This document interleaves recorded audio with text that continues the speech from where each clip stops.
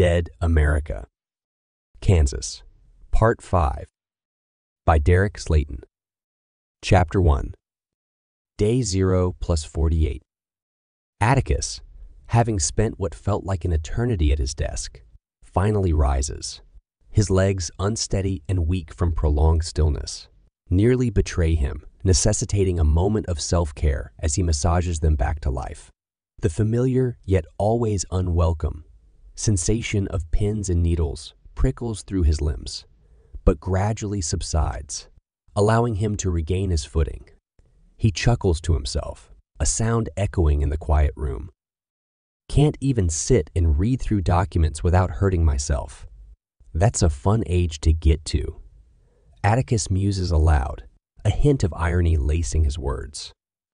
In an effort to fully reawaken his legs, he begins to pace across the floor. It's during this mundane act that Evelyn's knock at the door disrupts the silence. Come on in, Evelyn, Atticus calls out, his voice steady and welcoming. Evelyn enters, her presence marked by the comforting aroma of a meal. She carries a tray bearing a steaming bowl of soup so hot that its vapors are visible, accompanied by a hunk of fresh bread. It's a simple yet deeply nurturing gesture. Sun's going down, so I figured you might be hungry, Evelyn says, her voice imbued with a caring undertone. I can always eat, Atticus replies with a soft smile, his eyes momentarily leaving the papers strewn across his desk. As Evelyn sets the tray down, her gaze briefly falls upon the computer screen, catching sight of a highlighted date, day 22. Important. Her curiosity piqued, she asks, Still chaos out there in Kansas? Atticus shakes his head, a gesture of resignation more than denial. You don't know the half of it, and because I like you so much, I'll spare you the details, he says, his tone a mix of humor and a darker, underlying seriousness. That bad? Evelyn's question is tentative, laced with concern. He nods solemnly, Let's just say I've had my yearly fill of human misery. Evelyn's expression shifts to one of sympathy, her words faltering. I'm sorry. I don't even know what to say. Atticus forced a smile to reassure her. All part of the job. Although I have to say, I am thankful I only have to read about this stuff.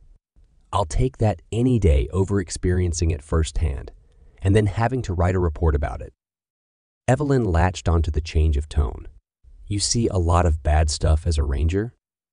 There's a reason I retired at my youthful age, Atticus replied with a twinkle of charm, getting her to laugh while avoiding the grim memories. How's Susie doing? he asked, redirecting the conversation. She's doing good, curled up on the couch with her stuffed animal, fighting with all her might to stay awake for the end of her movie. Evelyn chuckled affectionately. I've already caught her snoring twice, though, the mental image of his young daughter, safe and happy, brought a smile to Atticus's worn face. Before nostalgia could fully take hold, however, Evelyn slipped back into an authoritative tone. But you sit and eat before it gets cold, and get to that important report. Yes, ma'am. Atticus nodded obediently as she left, quietly pulling the door shut behind her. Settling into his chair, Atticus inspected the hearty soup and tore off a chunk of bread, dipping it into the fragrant broth. Yeah, that's some dangerous stuff right there, he murmured after swallowing the rich morsel. Good thing we're on rations, because I could eat an oil drum of that. After a few more satisfying bites, he set the tray aside and clicked open the ominously labeled report. Okay, Madison, let's see just how important this is. Chapter 2 Day 0 plus 22. Shortly after dawn in Great Bend, Kansas, Connie found herself in the dimly lit kitchen of a weathered old house in Great Bend. The gas stove crackled with the promise of boiling water, casting a warm, faint glow across the room. Through the window, she observed a few survivors, their silhouettes etched against the early morning sky toiling away constructing makeshift barricades that wound around the roads and encircled the houses. It had been an unrelenting week. a ceaseless symphony of labor orchestrated by the entire community, Connie included. This relentless effort had left her arms feeling as if they'd been pummeled by a professional boxer. She rotated her shoulders to restore some semblance of circulation, but her gaze landed on the wall, and her heart sank a little. Hanging over the kitchen table, a family portrait loomed.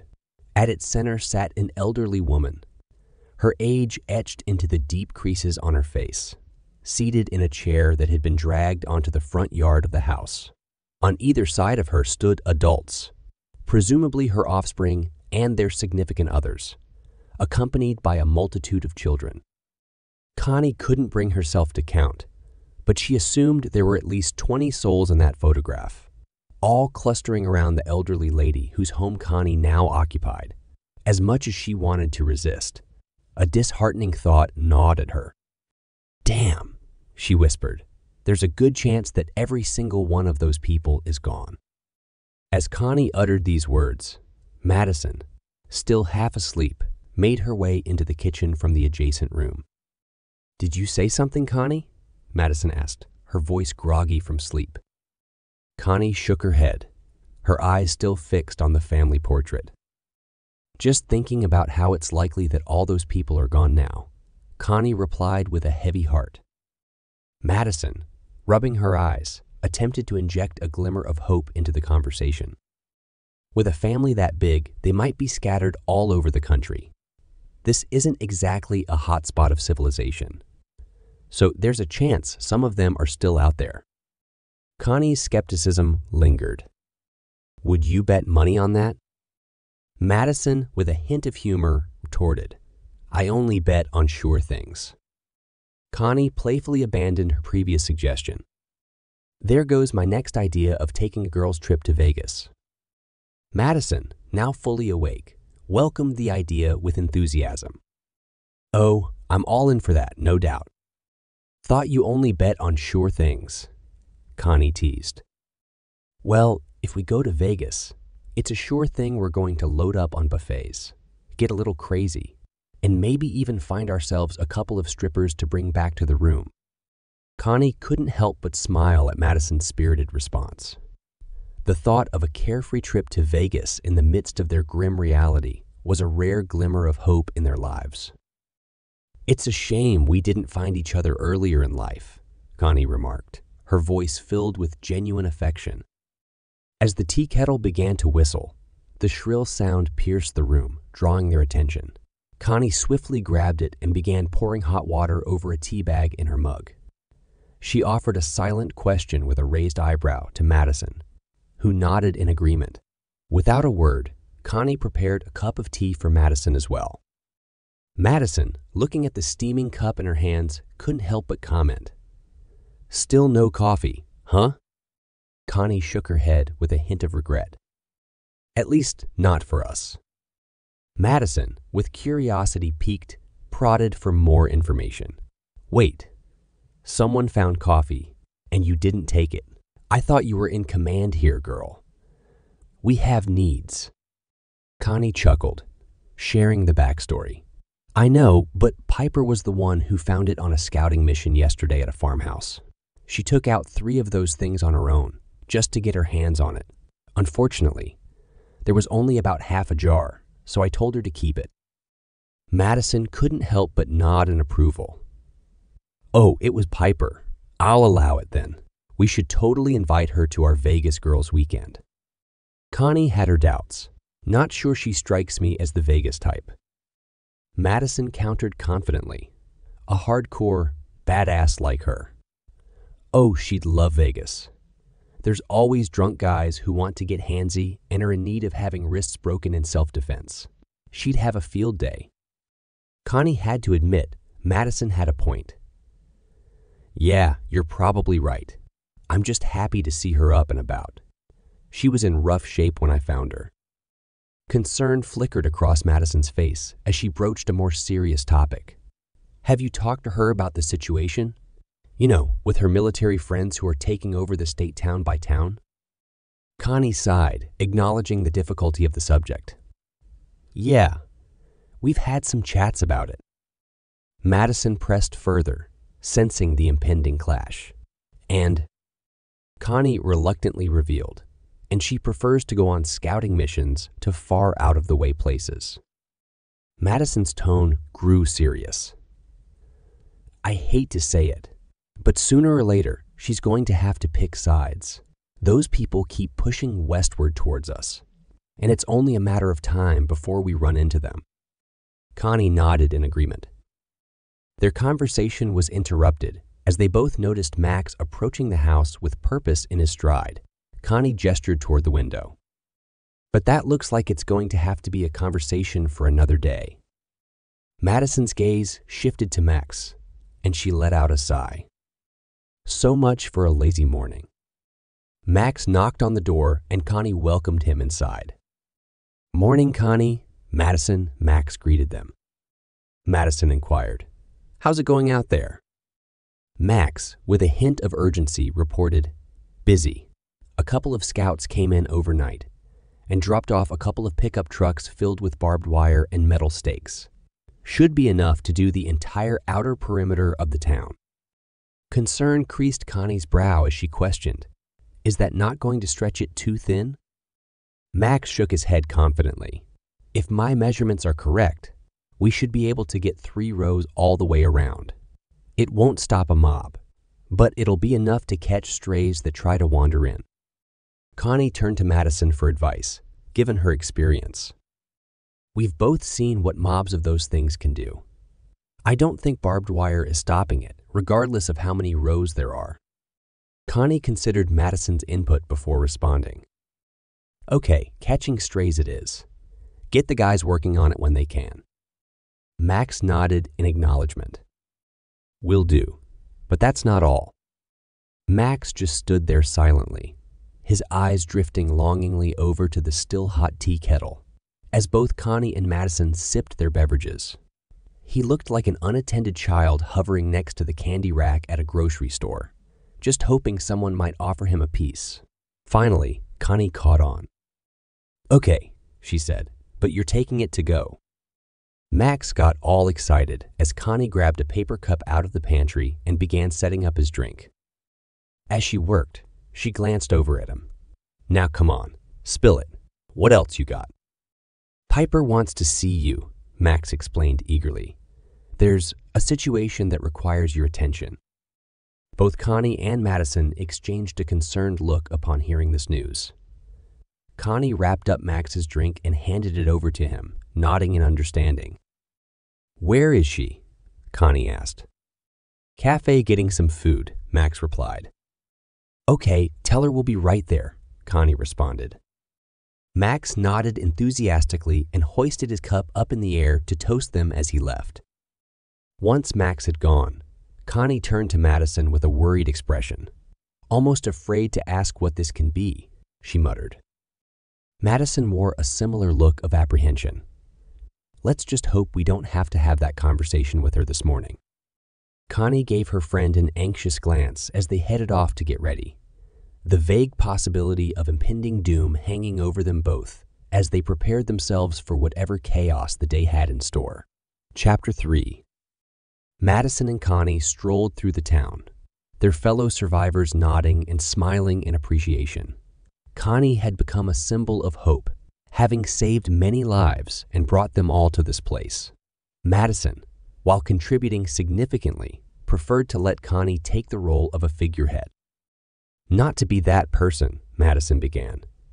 But if we keep bringing all these people here, we're going to have to have a serious talk about the food situation, especially with winter just around the corner.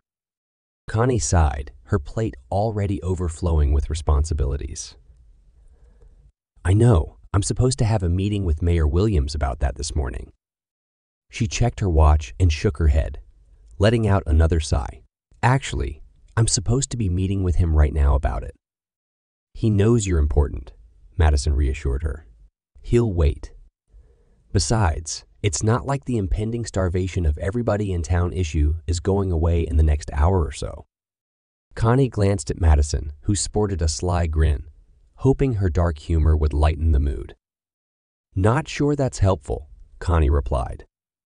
Well, you're less worried about what Piper has to say, Madison quipped. So I'd say I'm doing a pretty good job as your unofficial advisor. Oh, so you're unofficial now, huh? Connie teased. Well, if I'm official, that would mean the starving people would have two names to curse, Madison quipped. Just doing my part to help them conserve energy by only having one name to curse. Connie couldn't help but break into laughter at the absurdity of Madison's words. You sure you weren't a politician before the world went to hell? Far from it, Madison replied with a mysterious smile. Are you ever going to tell me what you did back in those days? Connie inquired. When the time's right, Madison evaded. Okay, should I start a pool going? Connie joked. Winner gets the next coffee container. If you do, just know that I'll be taking offers from people on their cut of the caffeinated gold. Madison playfully countered. Wouldn't be hard to come out on top with me in their corner. Oh, you'd be banished to your room, sure.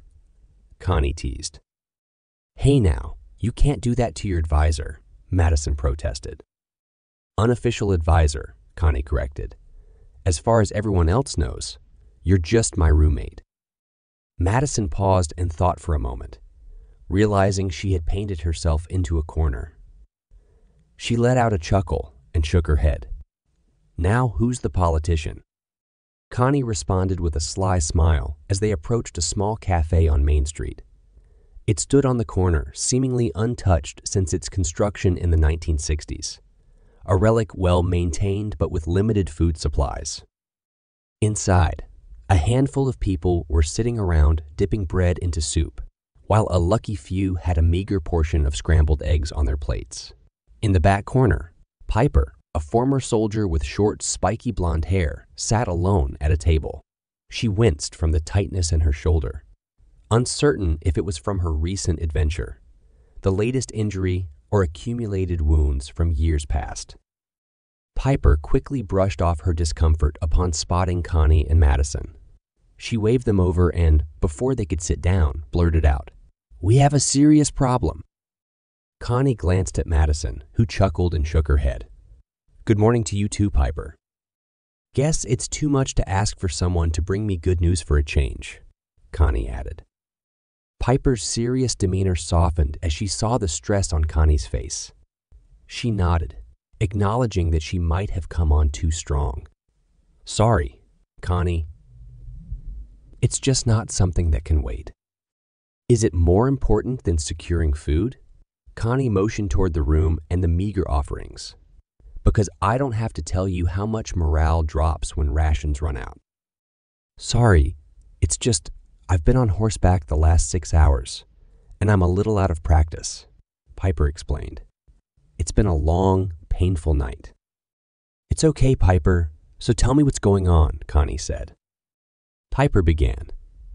There's this town called Hutchinson, about 60 miles southeast of here. There are survivors there, and they're having a hell of a time. How many survivors? Madison inquired. I didn't get a full count, but a few hundred, Piper replied. Connie's eyes widened, and she shook her head. I don't care what's going on there. We don't have the resources to help them out. Piper hesitated for a moment, then continued. I haven't even told you what the issue is.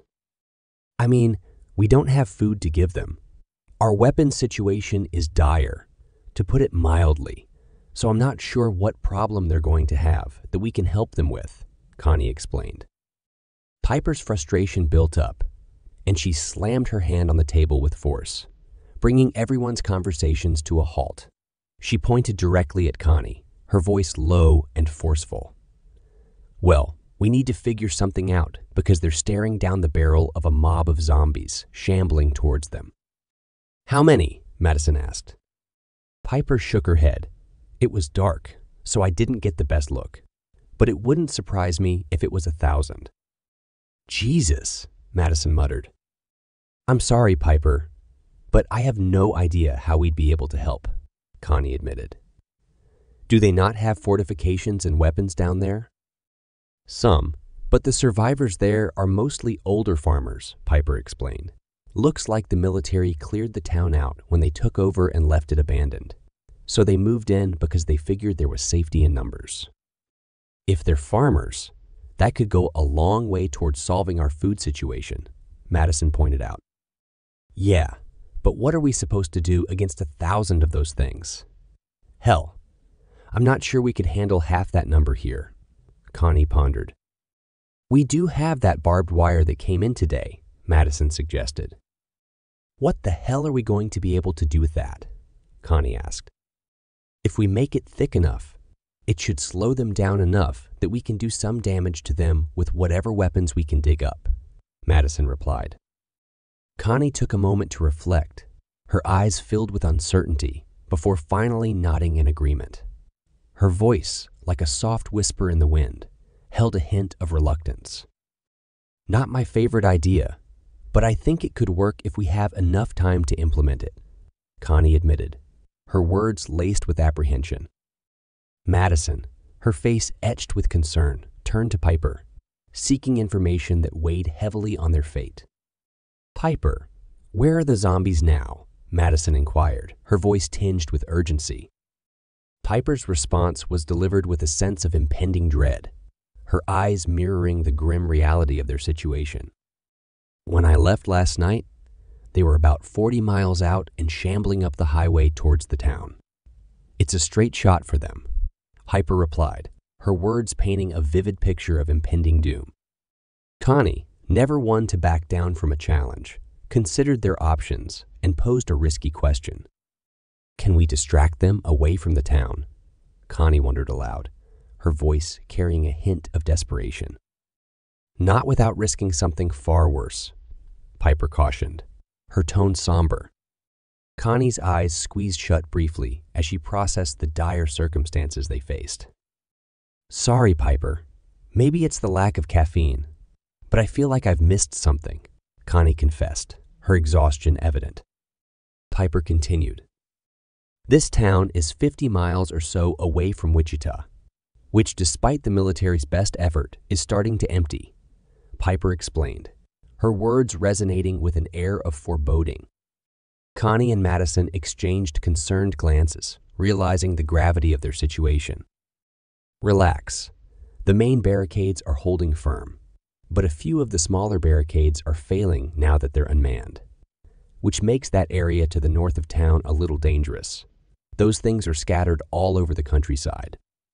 If we start blaring music or setting off explosions to pull those things away from town, we might have a fight on our hands that we can't win, Piper elaborated.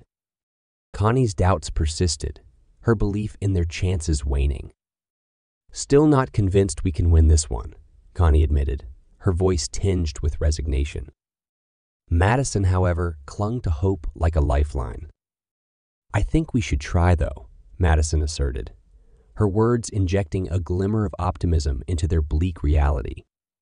I think you're right, Connie agreed, her voice softening as she weighed their options.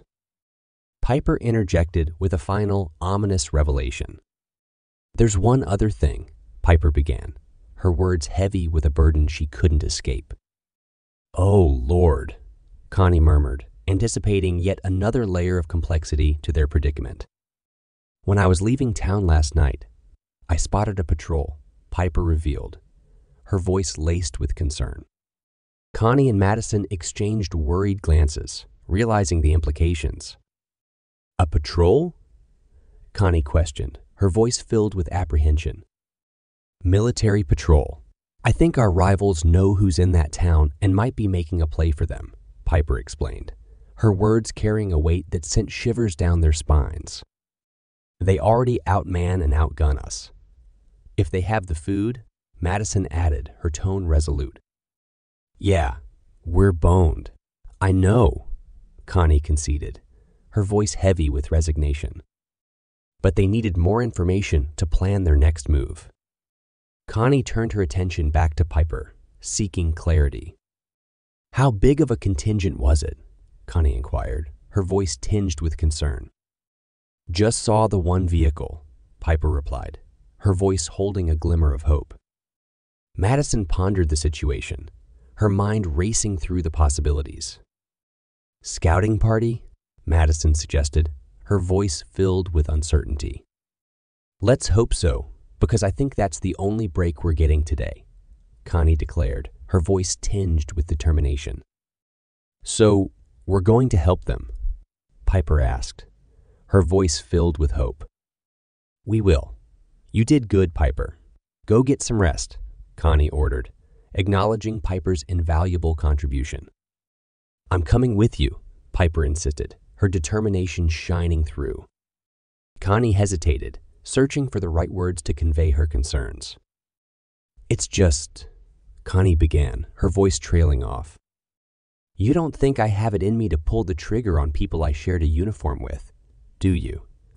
Piper questioned, her tone unwavering. Connie was caught off guard, uncertain of how to respond.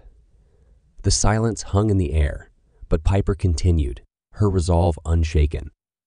Let me tell you something, Connie. These motherfuckers left me for dead, and now they're not only still trying to kill me and everyone who took me in, but they're doing horrific things to civilians. How many people have come into town who were shell shocked from their experiences with them? Too many.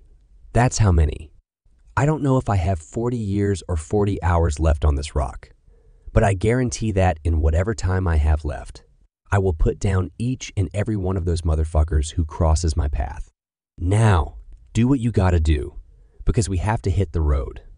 We have a town full of folks who need help, Piper declared, her words echoing with a fierce determination. Piper punctuated her statement with a resounding smack on the table before exiting the cafe leaving everyone in stunned silence. Madison finally broke the tension.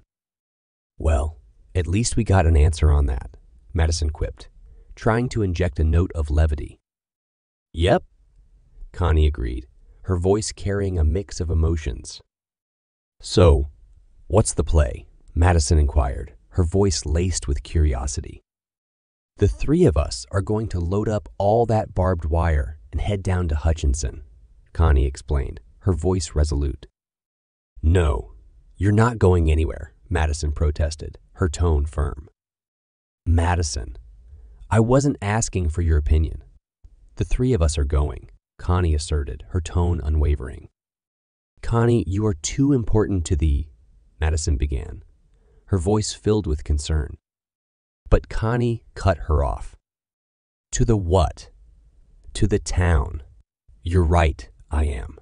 And right now, this town needs food. If we do manage to save those people, I need to be the one to convince them to join us against the military. Connie explained.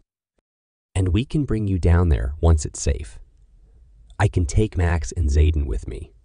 Madison suggested, her voice filled with concern. No, they stay here. Zayden is unproven in a fight, and Max is doing wonders with the defenses here. I don't want that to stop, Connie insisted. Okay, the three of us it is then, Madison agreed, her tone resigned. As they finalized their plans, Madison's thoughts drifted, lost in contemplation. What is it? Connie inquired, noticing Madison's distant expression. Do you want to win your pool? Madison asked, a hint of mischief in her voice. Connie, puzzled by the question, nodded in acknowledgement. Madison motioned for her to follow, and they left the cafe, making their way to the residential area. They stopped in front of a dilapidated one story house that appeared abandoned. So you were in house restoration? Connie inquired, her curiosity piqued. Madison led her to the back of the house, where a storm cellar awaited.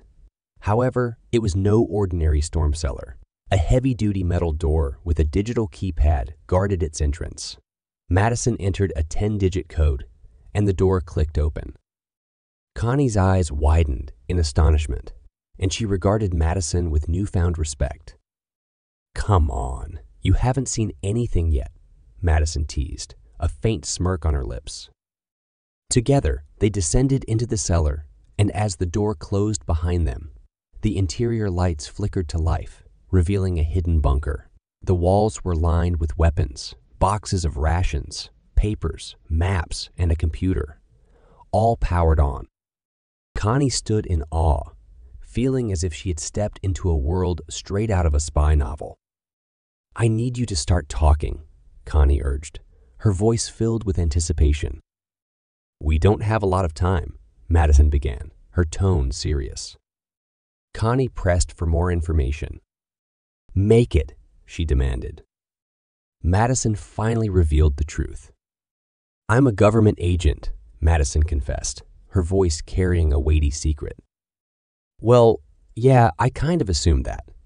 But why here? Connie inquired, her curiosity deepening. I was stationed near Kansas City when all this kicked off. Got stuck in a condo high rise with a high value asset. The group of soldiers that came to rescue us are some of the same ones who went rogue. My handler ordered me to stay put, blend in, and keep an eye on them. I've been filing reports. Ever since we got moved in here, Madison explained, her voice laden with a sense of duty. Connie's anger simmered just beneath the surface. You knew what was going on and you didn't say anything. Connie questioned, her voice tinged with frustration. I've shared every bit of information I have. That's the truth, Madison asserted, her voice sincere. Why not tell us then? And why tell me now? Connie pressed, seeking clarity. Madison pointed to a large wooden crate on a nearby table, her intentions clear. After what the military did, coming in and taking over only to pull out and leave behind some bad apples, I figured my job would be exponentially more difficult if people thought I was a Fed rather than just a state lackey. And as far as telling you now, Madison trailed off, leaving the sentence hanging. Connie followed Madison's gesture and approached the wooden crate. When she opened it, she found boxes upon boxes of shotgun shells. This might just give us a fighting chance down there, Connie remarked, her tone a mix of determination and gratitude. I've seen you in action with that gun of yours. God help those military boys if they try and mess with you, Madison quipped, her voice filled with confidence.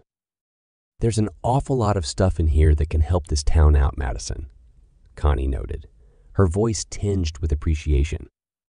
And if things start going south, you have my word that I'll open up the vault.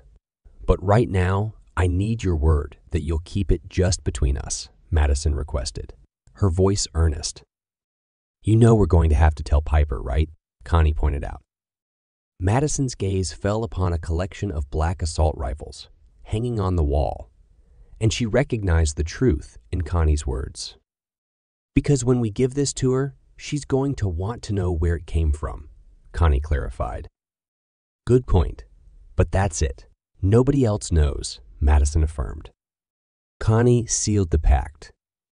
You got a deal. Come on. We have a town to save, Connie declared.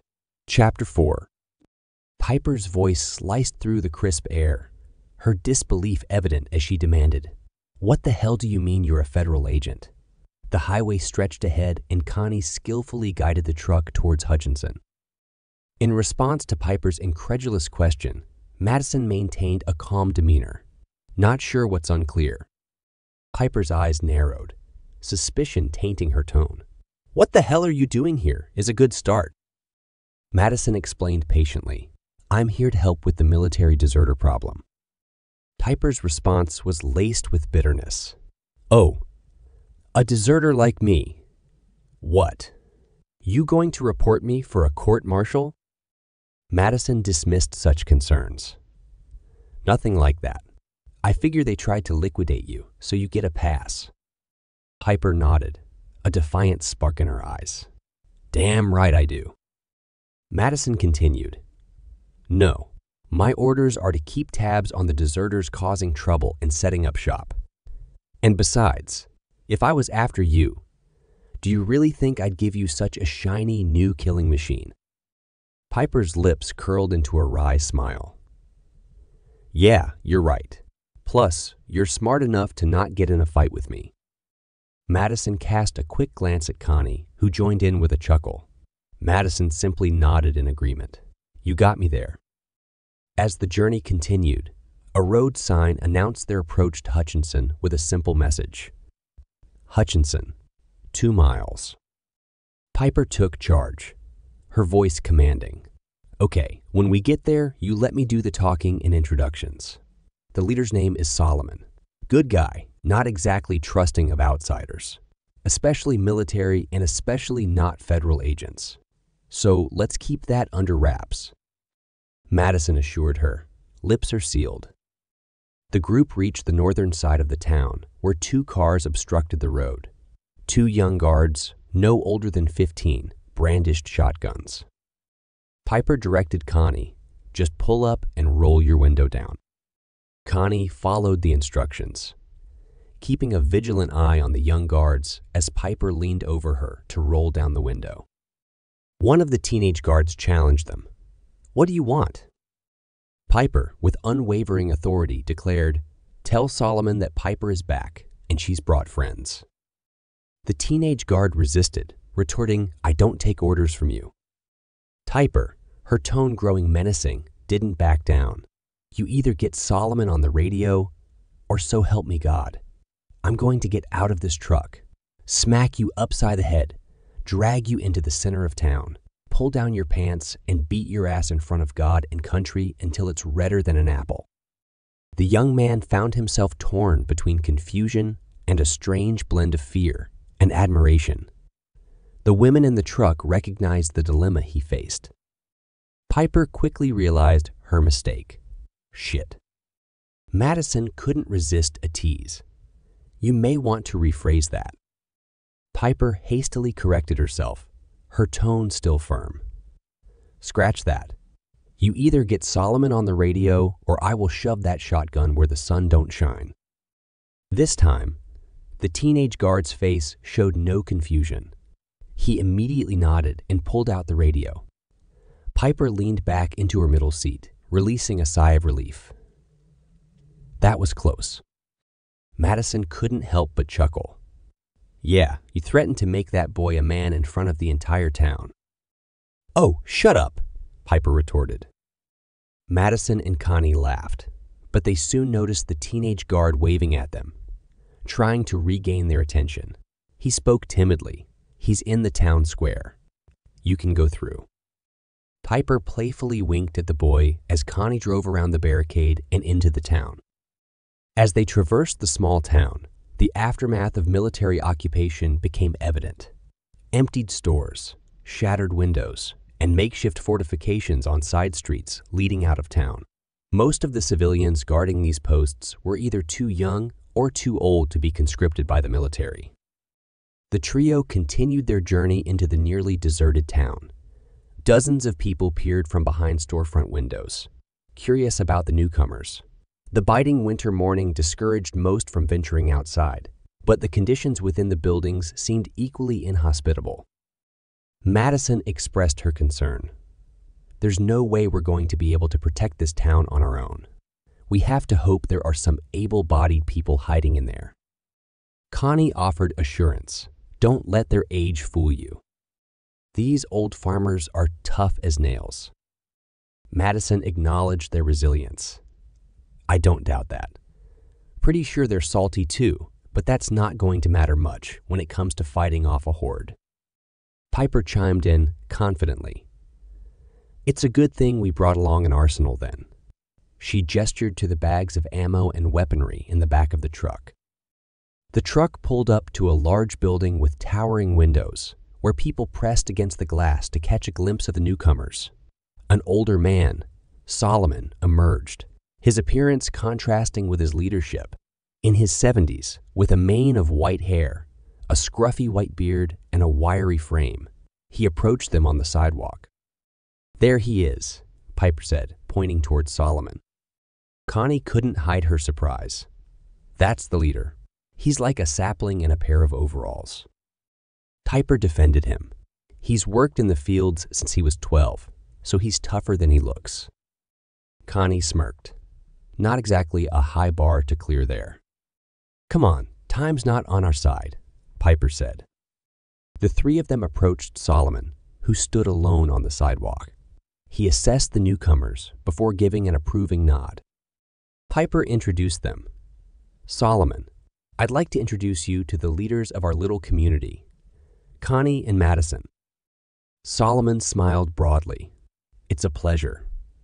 And when you said you'd be back in the morning with reinforcements, I doubted you. Looks like I was proven wrong.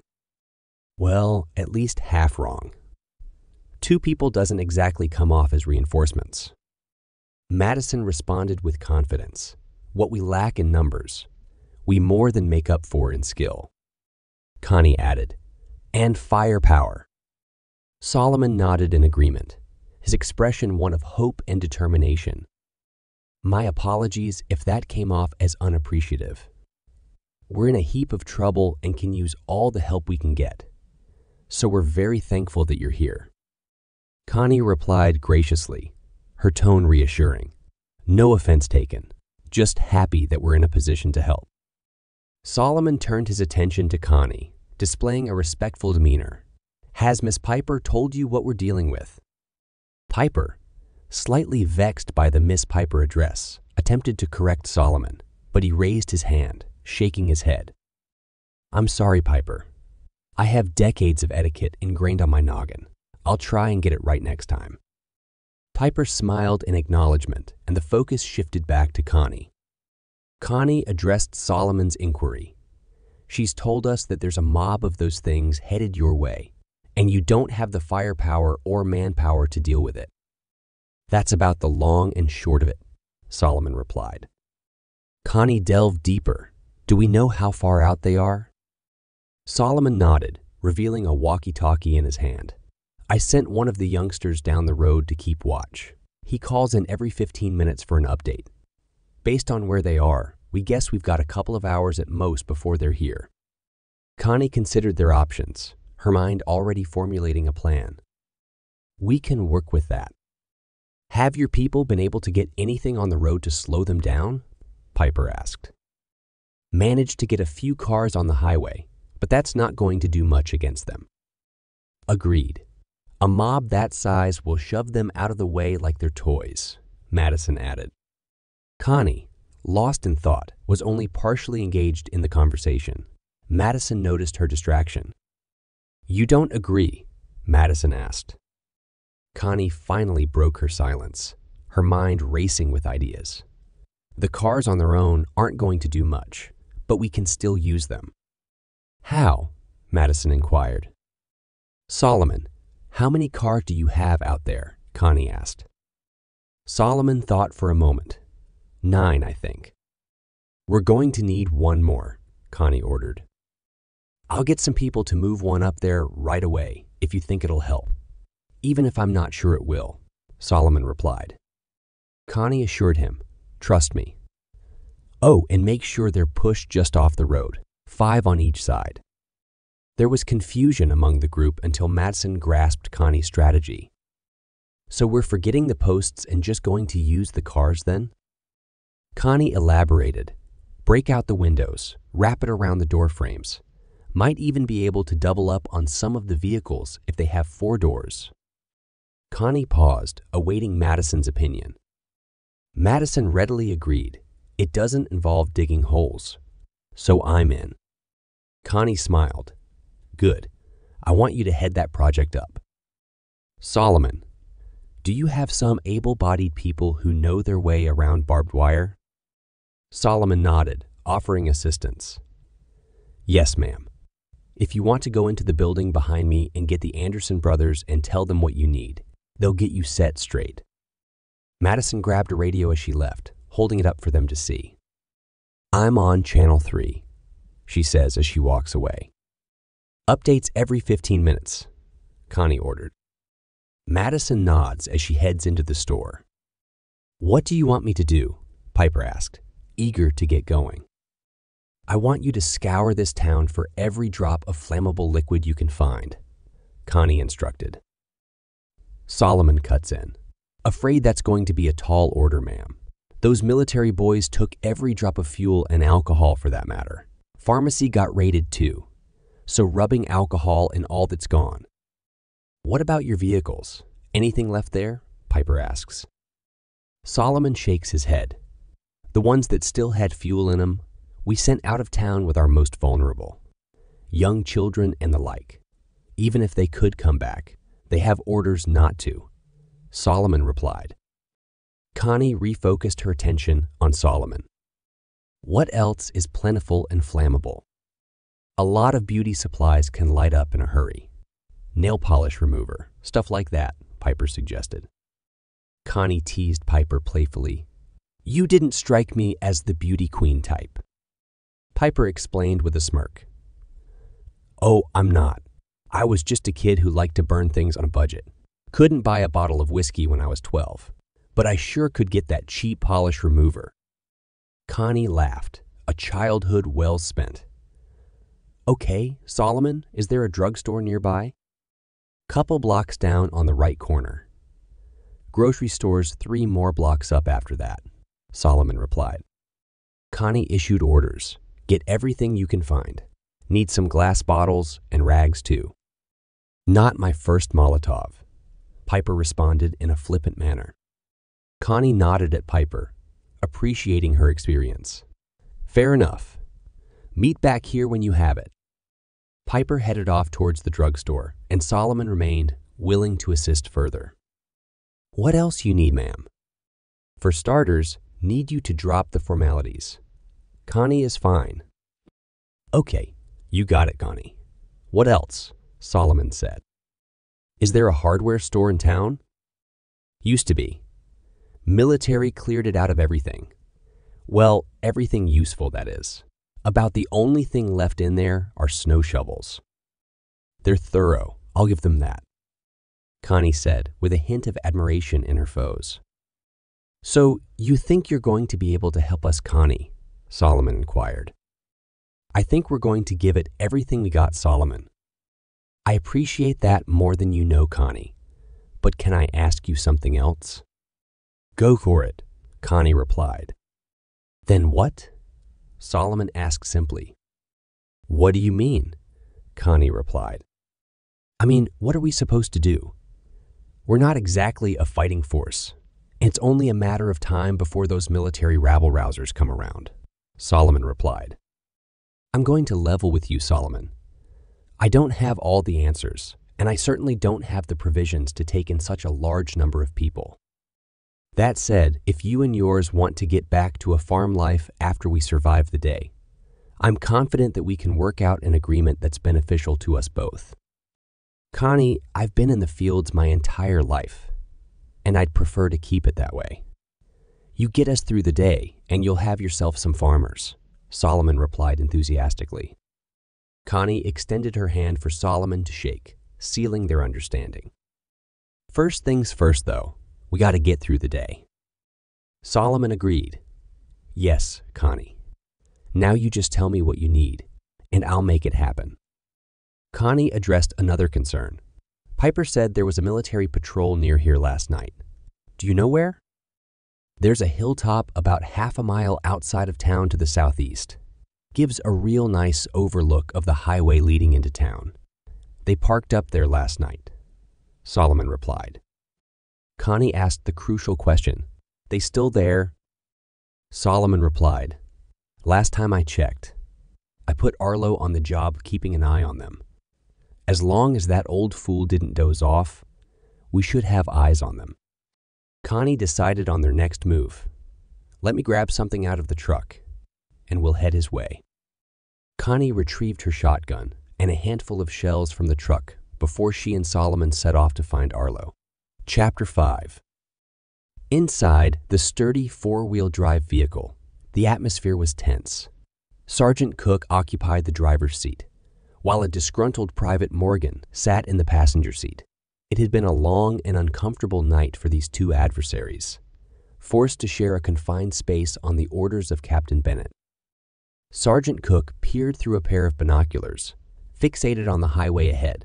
His gaze was focused on Madison and a group of older gentlemen who were diligently securing barbed wire to the rows of cars lining both sides of the highway. They've been at that for nearly an hour now, Cook remarked, his voice tinged with curiosity. I wonder if they know something we don't. Private Morgan, seated beside him, couldn't resist a snide comment. With you in the car, that's probably a safe bet. Cook bristled at Morgan's remark. Watch yourself, Private. Morgan wasn't one to back down easily, Or what, Cook? You gonna reprimand me? You gonna report me to Bennett? I'll do what I have to do, Cook responded sternly.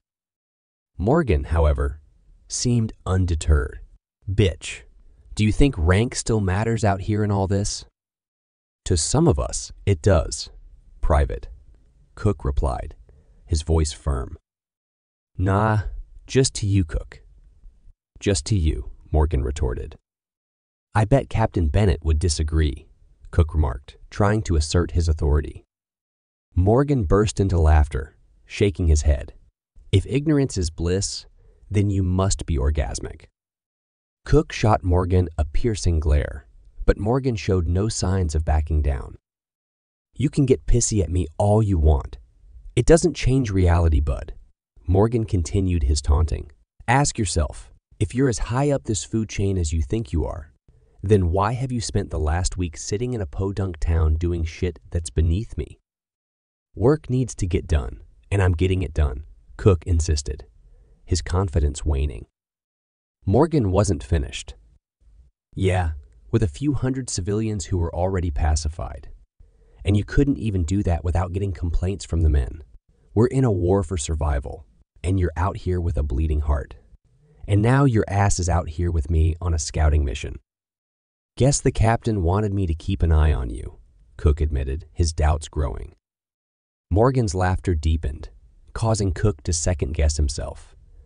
What if Captain Bennett had indeed lost faith in him? What if his initial goodwill had finally run out? Cook tried to refocus on the task at hand. They had intelligence suggesting that a group of farmers had fled to this small town. But what if there was a hidden agenda? What if Morgan was being groomed to take over his role, or worse, to eliminate him? Cook shook his head, attempting to dispel these unsettling thoughts. He believed that the captain valued his ability to connect with people on a level beyond fear and brute force, or so he hoped. As Cook struggled to regain his focus, Morgan tapped him urgently on the arm. Startled, Cook turned to him asking, What? Morgan continued to tap his arm, more urgently this time, but he remained silent, forcing Cook to drop the binoculars and look at him. Morgan put a finger to his lips, signaling for silence. The mocking demeanor had vanished from Morgan's eyes, replaced by a genuine alertness. Their eyes locked, and Morgan pointed to the back passenger side of the vehicle, indicating the presence of a hostile. Cook checked the side mirror, glimpsing a crouched figure and the barrel of a gun barely visible from behind the corner. They continued their silent communication, with Cook motioning for Morgan to cautiously exit the vehicle for investigation while he planned to flank from the driver's side. Morgan made a throat-slitting gesture, but Cook shook his head, conveying their intent to interrogate their visitor. Morgan reluctantly agreed. Cook kept his focus on the rear corner, drawing his handgun and aiming through the back window to cover Morgan as he exited the vehicle. The door opened slowly, and Morgan stepped out, swiftly raising his weapon toward the corner of the vehicle. As he took a single step forward, the knee and the gun barrel vanished from sight. Before Cook could exit the vehicle, he froze. Connie stood a few feet away from the window, her shotgun aimed directly at his head. She spoke in a low, measured tone, Howdy, neighbor. Cook let out a sigh of resignation as he slowly raised his hands where she could see them. Meanwhile, Morgan stood ready to engage, not bothering to check if Cook was in position. He simply executed the plan. All right there, mystery guest. Morgan addressed the hidden threat. You need to drop that gun and come out before you get yourself hurt. Connie's response was just as defiant. That's funny. I was about to say the same thing to you. Morgan's head snapped around, spotting Connie through the vehicle's windows, her shotgun menacingly aimed at Cook's head. Now drop your gun, or else your friend here is going to lose his head, Connie threatened. Morgan couldn't care less about Cook's fate. You think I give a shit about him? Piper's voice chimed in from behind them. No, but I do think you give a shit about your own balls. Morgan looked back at the corner of the vehicle where Piper had emerged, her rifle trained directly at his groin. Now do as you're asked before I disarm you permanently, Piper warned. Damn it, Morgan muttered in defeat. He released his handgun and kicked it over toward Piper, who picked it up while maintaining her distance. I'm going to say this to you once, Piper said, drawing her handgun and swinging her rifle over her shoulder. If you try anything, I will shoot you. Not in the head, not in the gut, but in places where you'll wish I shot you in the head. Understand me? Yeah, yeah. I'll be a good boy, Morgan replied begrudgingly. Piper retrieved a set of handcuffs and motioned for Morgan to turn around for her to apply them. As she reached for his arm, Morgan attempted to overpower her by swinging his arm downward and trying to spin around. However, Piper swiftly reacted, squeezing the trigger and sending a round into his kneecap, causing him to collapse in agony. I tried to tell you, Piper said, standing over the wounded Morgan. Morgan writhed in pain on the ground as Connie, shotgun in hand, approached Cook from behind. What the hell's going on over here? Connie inquired. Piper explained as she handcuffed the injured Morgan. I told him that if he played nice, I'll play nice. He didn't play nice. Yeah, he's hard headed like that, Cook remarked. Connie took charge. You want to secure him, and I'll call it in. Piper assumed responsibility. I'll handle it. Cook stepped forward, hands raised in a sign of cooperation. Don't worry, I play nice. Piper couldn't help but smirk as she turned Cook around and handcuffed him securely. On the other side of the vehicle, Connie pulled out a walkie talkie. Solomon, do you copy? Connie radioed in. Solomon's voice crackled through the walkie talkie. I'm here, Connie. Is everything okay? Connie responded, Took care of your voyeur problem. How are we looking with the fortifications? Solomon replied, Madison said they're getting there, but that horde is getting real close. Okay, we'll be back soon, Connie acknowledged, pocketing the walkie talkie.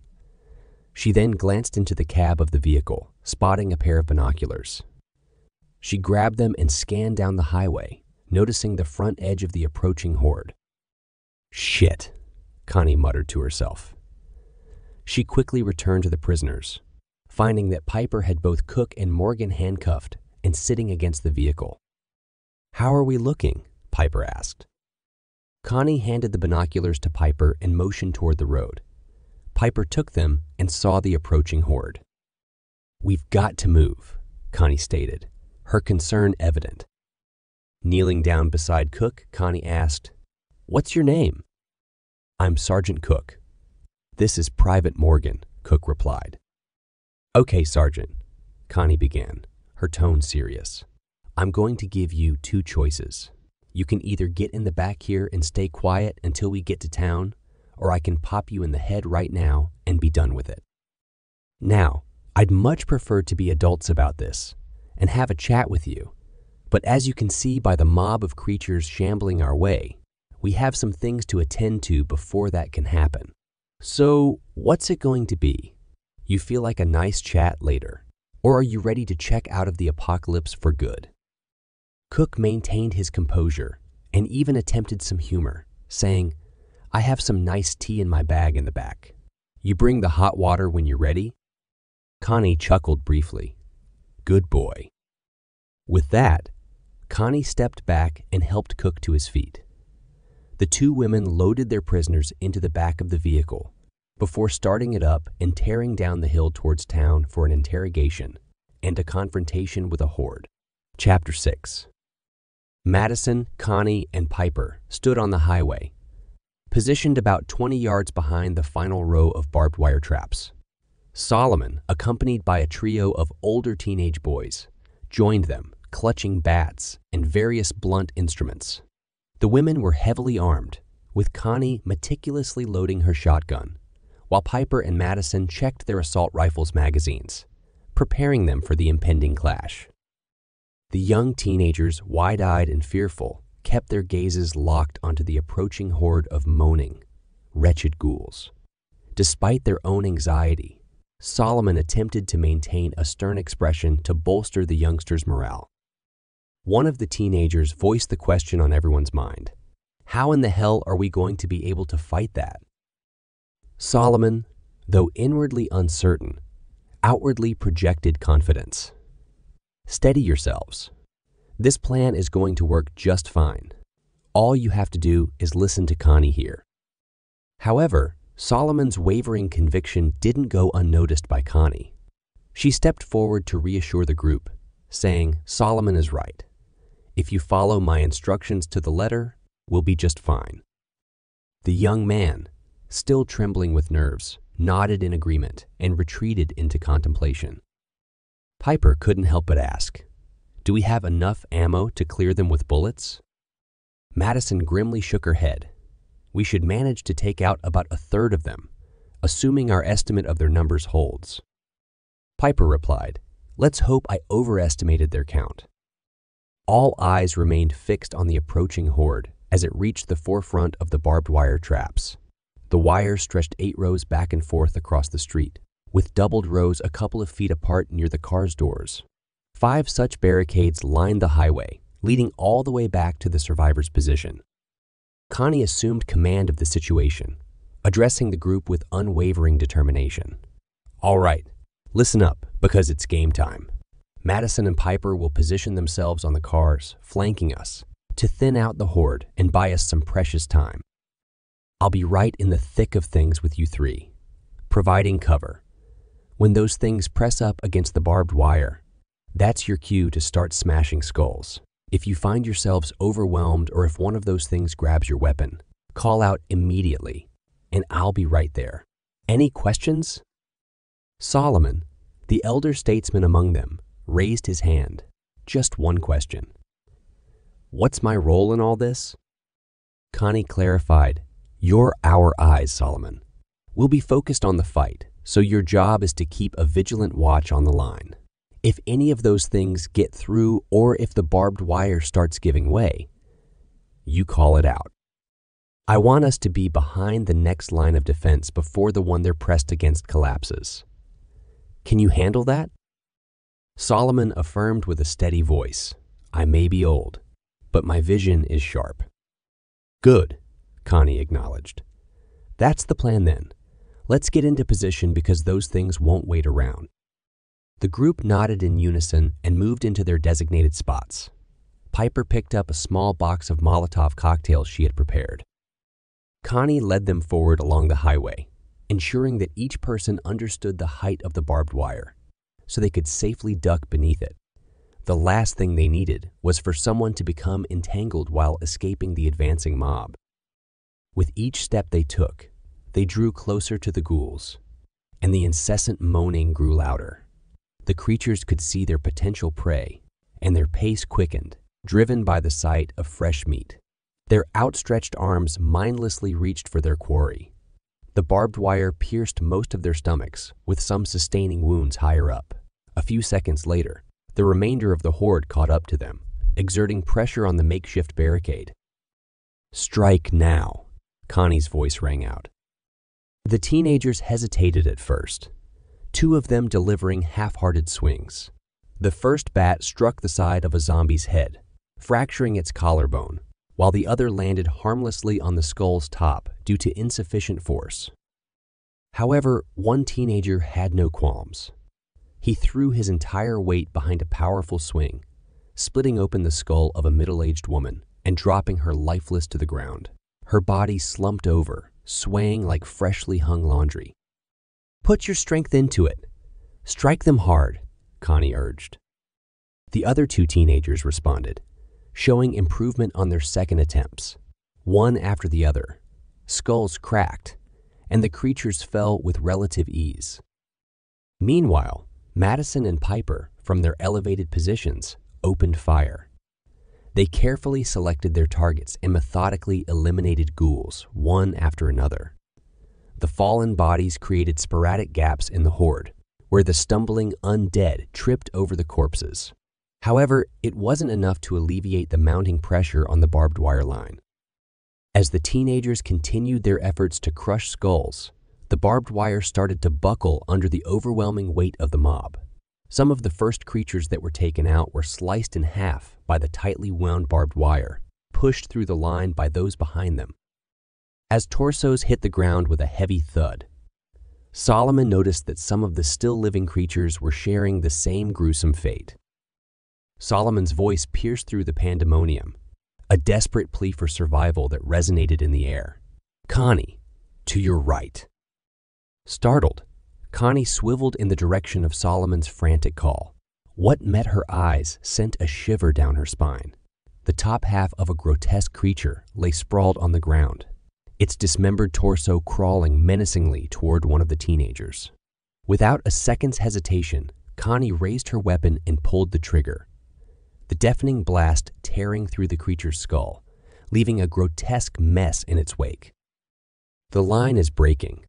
Solomon's words rang out like an ominous prophecy. Connie's eyes darted around, taking in the nightmarish tableau. Only a meager dozen or so ghouls lay vanquished on the ground, a pitiful testament to their desperate struggle. Panic clawed at the edges of her mind as she realized they weren't making even a dent in the relentless horde that loomed ever closer. Connie deftly loaded more shells into her shotgun. Just as the first line of defense faltered, she unleashed a rapid volley of shots, each resounding blast marking another death knell for the ghouls. It was an unrelenting barrage, the shotgun's thunderous roar echoing through the air, creating a macabre symphony. A grisly pile of ghouls tumbled to the ground, their putrid bodies entangled like a heap of rotted flesh and bone. Before Connie could contemplate her next move, she witnessed heads exploding in a gruesome display as Piper opened fire from her elevated vantage point, buying them a few precious moments to regroup. Get to the next line. Piper's command cut through the chaos like a lifeline. Connie nodded and moved with an urgency born of desperation, swiftly reloading her shotgun. Meanwhile, Piper expended the last rounds from her magazine before igniting a Molotov cocktail and hurling it into the heart of the advancing mob. The glass shattered upon impact, splashing flaming liquid over the grotesque figures setting a dozen or so creatures ablaze in a fleeting inferno. Damn it. Hoped that was going to be more effective, Piper muttered, her frustration palpable. Piper hastily inserted another magazine before joining Madison in their retreat. The two women leaped down from their makeshift perch on the car and sprinted toward the next barricade a few yards away. Both of them clambered onto it, weapons poised and ready for the impending onslaught. Madison voiced the stark reality of their dire situation. Not really hitting the numbers we need to, Connie. Connie's eyes scanned the relentless horde, her mind racing for solutions. I'm open to suggestions. Madison and Piper exchanged glances, their faces etched with uncertainty. Time was a precious commodity they could ill afford as the mob closed in on their position. They began firing with abandon, less concerned with conserving ammunition and more focused on thinning the approaching horde. Connie emptied another eight shells into the relentless mass, creating a brief breach that was quickly filled by the encroaching ghouls. Bodies on the ground disappeared beneath the tidal wave of flesh, reminiscent of the ocean reclaiming a hole dug into the sand. As she reloaded, the horde reached the line of defense, and the teenagers swung their weapons with frantic desperation. Panic and adrenaline drove them to a frenzied fervor, their blows landing with brutal force. Despite their valiant efforts, the second line of defense proved as futile as the first, buckling beneath the weight of the relentless horde's advance. We gotta move! Connie shouted, her voice laced with urgency. Everyone unleashed their fury one last time before retreating to the third line. Connie, after expending several more shotgun blasts, joined the others at the barricade, her eyes scanning the sea of ghouls. Piper, Madison, how's it looking? Connie inquired, her voice tinged with concern. The two women squinted at the distant, seemingly endless mob down the highway, their faces reflecting the harsh truth. At the pace we're going, we'd need 40 of these barricades to clear this mob out, Madison lamented. Piper expended her magazine before slinging the rifle over her shoulder. She jumped down from the car and dashed across the safe section where the teenagers were bravely holding their ground. Where are you going? Connie questioned, her trust in Piper resolute. I've got an idea. I'll be right back. I need your knife, though, Piper replied. Connie nodded and handed over her knife to Piper, who gathered her remaining magazines and set them on the car's roof near Madison's feet. She tapped Madison on the leg, capturing her attention. Unload everything you have into the center mass. Create a lane if you can, Piper instructed, her eyes filled with purpose. They're just gonna fill it right back in, Madison pointed out, her voice tinged with skepticism. That's fine, but the bodies on the ground will help thin them out. Oh, and I need your knife, Piper requested. Madison retrieved her knife from an ankle holster and handed it to Piper, who then turned to Solomon. There any supplies in that safe house of yours? Piper inquired. Nothing significant. Just a few tools and whatnot that we managed to hide from the soldiers. Solomon replied. Tape. Piper pressed further. Should be some there, Solomon confirmed. With everything she needed in her possession, Piper sprinted back toward town, her destination a couple of hundred yards away. Connie didn't have time to ponder Piper's plan. She simply trusted her instincts. Keep the fight up, Connie shouted to the remaining defenders, her voice filled with determination. Connie unloaded another barrage of shotgun blasts as Madison followed her instruction and concentrated her fire on the center of the advancing mob. Just as Madison had suggested, every time they dropped a few of the creatures. More emerged to take their place. However, as the assault continued, Madison noticed the horde was thinning slightly in the middle. Several zombies at the front line were being cut in half by the barbed wire. The teenagers fighting had to adjust, targeting those split bodies first before returning to attack the rest. Finally, after several more moments of intense combat, the structural integrity of the barbed wire faltered, forcing a retreat. As the women reloaded and steeled themselves to continue the fight, Connie observed that the teenage fighters were flagging. They were hunched over in pain, gulping air in heavy breaths. Get behind the next line, Connie commanded. We're good. We can fight, the lead teenager insisted. I know you can, but you need a breather, Connie replied firmly. I don't know what Piper's up to, but I suspect we'll need you at full strength soon enough. Solomon reinforced her judgment. Do as she says, boys. Begrudgingly, the worn out teens nodded and withdrew behind the final barrier. Madison slammed more shells into her shotgun, taking stock of her dwindling supply with only a couple dozen left in her bag. Piper, I hope you've got something good ready. Connie muttered as she likewise reloaded and resumed blasting any ghoul that drew near. Deprived of the aid of the teenagers' crushing skulls, this defensive line soon collapsed. Connie expended two full loads of ammo blowing zombie heads, apart before the pressure forced her to join the others behind the last barricade. As Madison ejected her empty magazine and reached for a fresh one, she made the mistake of glancing down the road. The sight of several hundred zombies still coming filled her with dismay. Their only hope was that no more seemed to be appearing in the distance, drawn by the clamor. While there were likely some, they weren't in the same overwhelming numbers. Her assessment was interrupted by hungry moans emanating from the side of the vehicle. Madison whirled to see two zombies almost on top of her. She quickly fired off rounds at nearly point blank range, then raced to rejoin the group, making their final stand. So, what do we do when they break through? Solomon's voice carried a weight of concern. Connie stood there, her mind racing through a series of unpalatable options.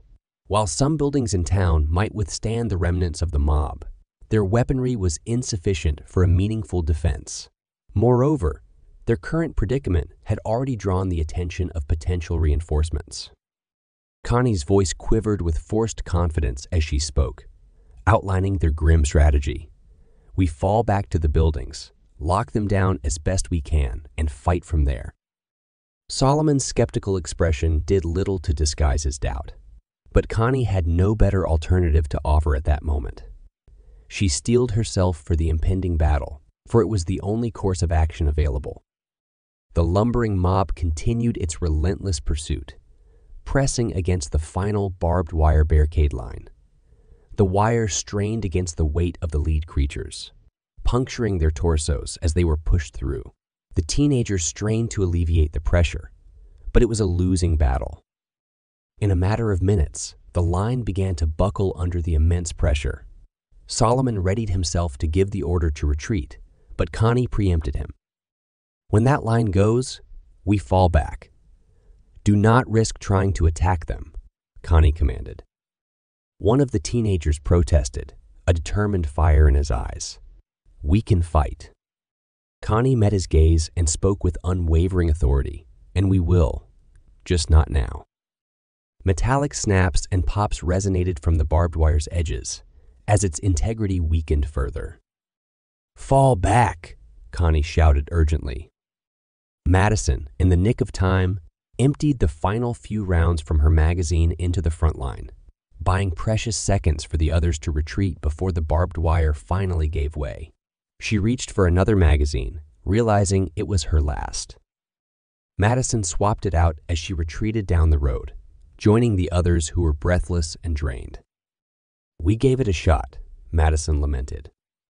A teenager questioned, his voice trembling with uncertainty. What are we going to do now? Connie's voice held a resolute determination. We're going back to town, taking shelter in the stores and mounting a defense from there. Madison shot Connie a skeptical look, her expression conveying the incredulity of the plan. I know, Madison, but it's our only option, Connie responded, attempting to muster confidence in their bleak circumstances. The women's conversation was abruptly interrupted by the sound of honking approaching from behind. They turned to see their truck hurtling toward them, Piper at the wheel. The group scattered as Piper barreled through the horde, plowing into the center mass of the zombies. Bodies were sent flying in all directions as the large pickup truck penetrated nearly 20 yards deep into the mass of undead before coming to a stop beside the final row of cars on the side of the road. What the hell? Connie exclaimed, bewildered by the unexpected turn of events. A portion of the horde near the truck redirected their attention toward it while around 20 ghouls continued to advance toward Connie and the others. Solomon asked, a note of panic in his voice. What do we do? Connie made a quick decision. Take the boys and get back to the stores, lock them down, and stay quiet. Solomon inquired, What are you going to do? Madison added, We're going to go get our slightly out of their mind friend. Connie affirmed their ability to handle the situation Trust us, Solomon. We've got this. Solomon nodded and began herding the teenagers back toward town. A couple of the boys extended their baseball bats toward the women, who gratefully accepted them. Make a play for the cars, Madison asked. Connie nodded. That's our best bet. You carry the bats, and I'll cover us.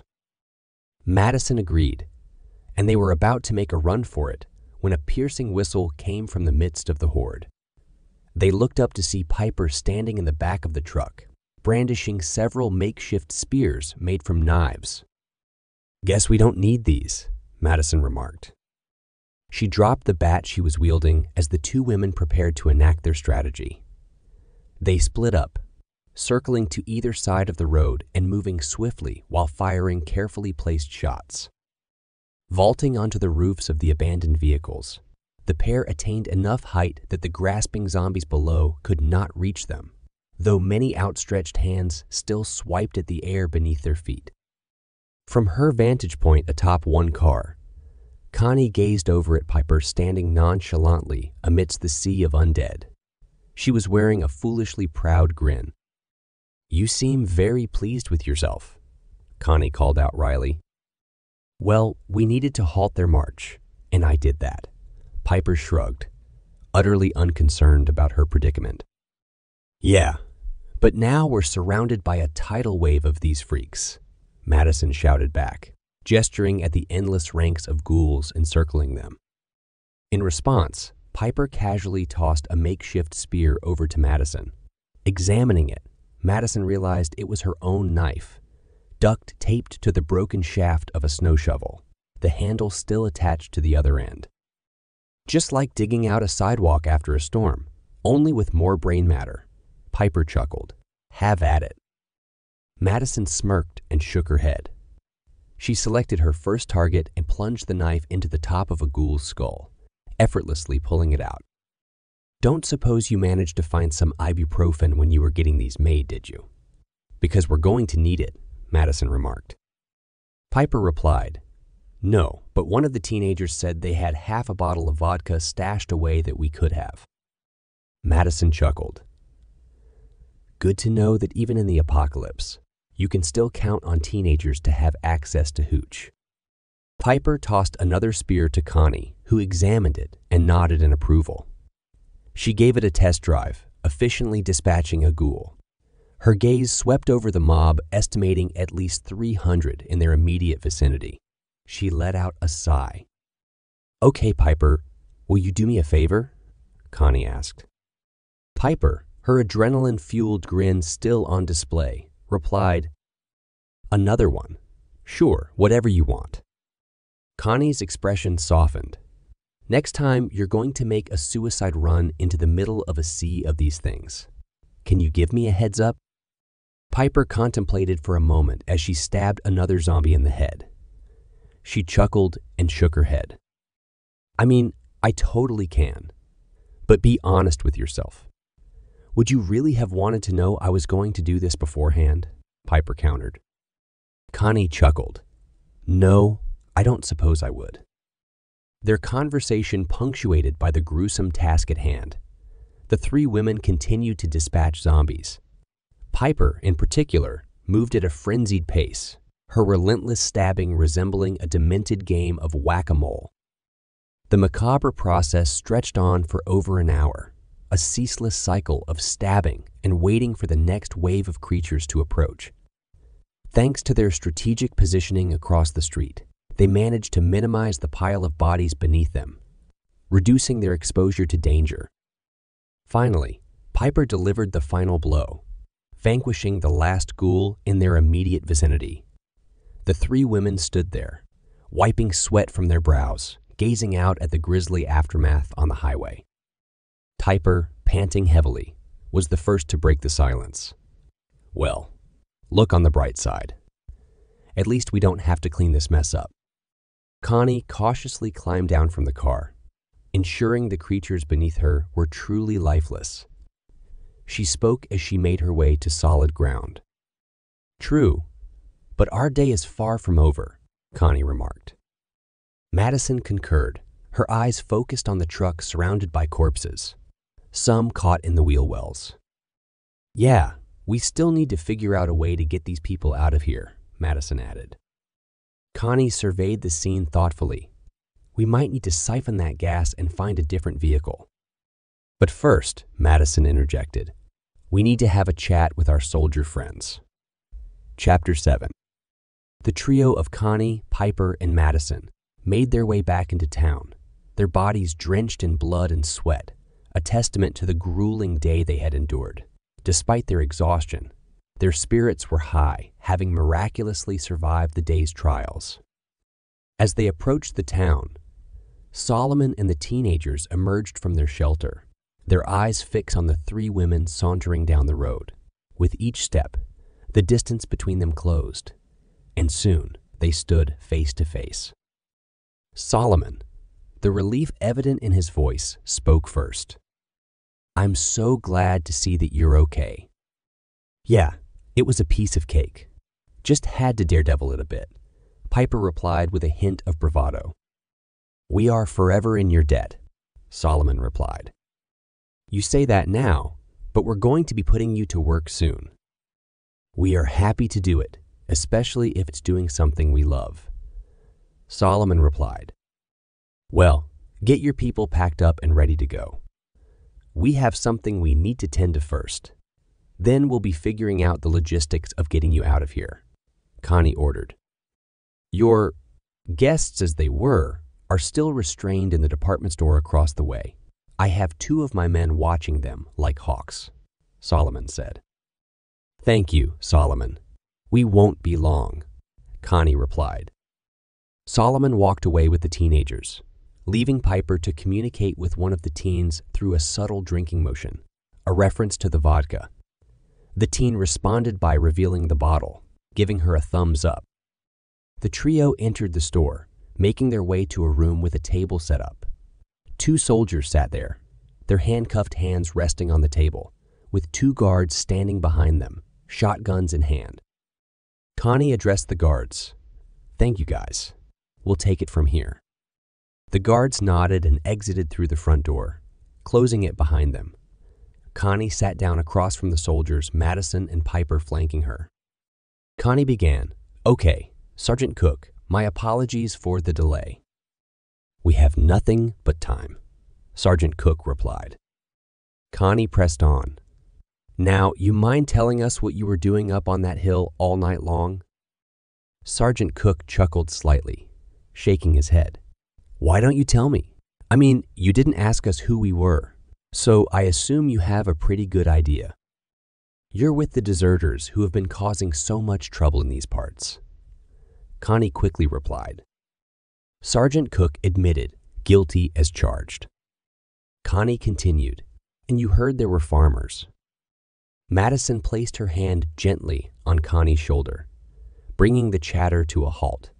Morgan couldn't help but let out an amused laugh at Connie's slip up, leaving her looking puzzled. Damn, that was easy, Private Morgan remarked with a smug grin. Connie frowned, glancing between Madison and Morgan in confusion. What was easy? What are you talking about?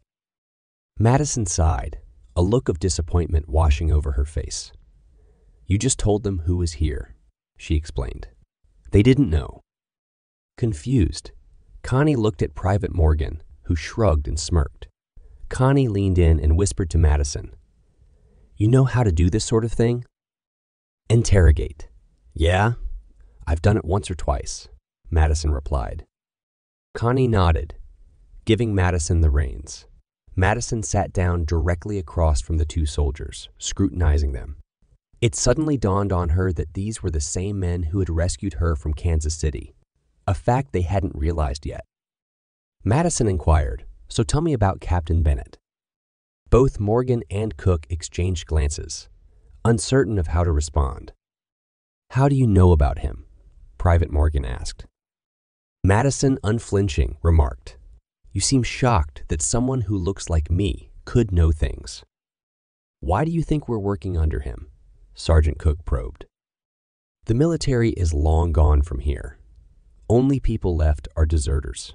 If you weren't working for him, you would have looted the place for supplies, Madison reasoned. Sound observation. I'm just curious as to how you heard the name. I know there's a variety of ways, survivors from the raids, escapees from the towns, but just like to know. Cook said. Had a direct run in with him a few days after this started, Madison said. Recognition flickered in Cook's eyes, realizing he had been with Captain Bennett at that time. Sergeant Cook mused. You're that agent, aren't you? Private Morgan exclaimed. Agent? Yeah, the agent we had to go into Kansas City for. Sergeant Cook added. Private Morgan finally connected the dots, exclaiming, Hell, man, you're right. Sergeant Cook admitted, almost didn't recognize you. Being coated in a few gallons of caked on blood can transform a girl's appearance, Madison quipped. Sergeant Cook agreed. It sure can. Sergeant Cook continued. But wow, that really opens up another giant can of worms now, doesn't it? What do you mean? Madison inquired. Sergeant Cook probed. Someone of your stature would have surely been moved out of here and on to more important things. I mean, it's not like there's a war on or anything. Now, why would you be here, hanging out with some civilians? Madison evaded, million dollar question indeed, but not one that's particularly relevant at the moment. Sergeant Cook countered, I disagree, but for the moment, I will defer to your line of questioning. Cook stared her down, their eyes locking, trying to get a read on each other. The expression on Cook's face lead her to believe that he was putting the pieces together as to why she's there, which is to keep an eye on them. So we've established that you're with Captain Bennett and that you're out here trying to figure out who's hanging out in town here, Madison remarked, her words laden with curiosity, like a traveler on the verge of unearthing a hidden treasure. But if you're this far out, I'm going to venture a guess and assume you have some significant numbers. More than you know, Agent, Cook mysteriously replied. Madison, undeterred, pressed on, her voice carrying a subtle challenge. Well, why don't you enlighten me? Private Morgan's lips parted, eager to interject. But Piper's swift and cold response silenced him. The metallic click of her handgun resonated like a promise of swift and merciless retribution. Her aim was unwavering, pointing directly at Morgan's lap. Please say another word, Piper cautioned with an icy demeanor. Please, make this the best day ever for me. Just one more word. That's all it will take. Piper added, her tone laced with an eerie calm. Morgan held her gaze briefly before reluctantly turning to Cook, who responded with a smirk and a knowing wink. It was a subtle communication of solidarity, a bond forged in the crucible of shared purpose, and it seemed to ease Morgan's anxiety. Our numbers are vast, Cook finally revealed, his voice resonating with the weight of their collective strength. There's a ton of soldiers who didn't like the fact that we cut and ran as soon as this thing started. And that doesn't even take into account the shit show that Kansas City was. I mean, I don't have to tell you about that. Madison acknowledged their shared ordeal with a nod, her eyes reflecting the haunting memories of that fateful day. No, you do not. Surprised any of us walked away from that clusterfuck. Throw in a healthy amount of civilians sympathetic to our cause, and all of a sudden we're one hell of a formidable force. Cook replied, Believe me, we've heard stories of just how formidable you are, Madison responded, her words dripping with condemnation. Must take some real balls to gun down elderly civilians and beat people into submission.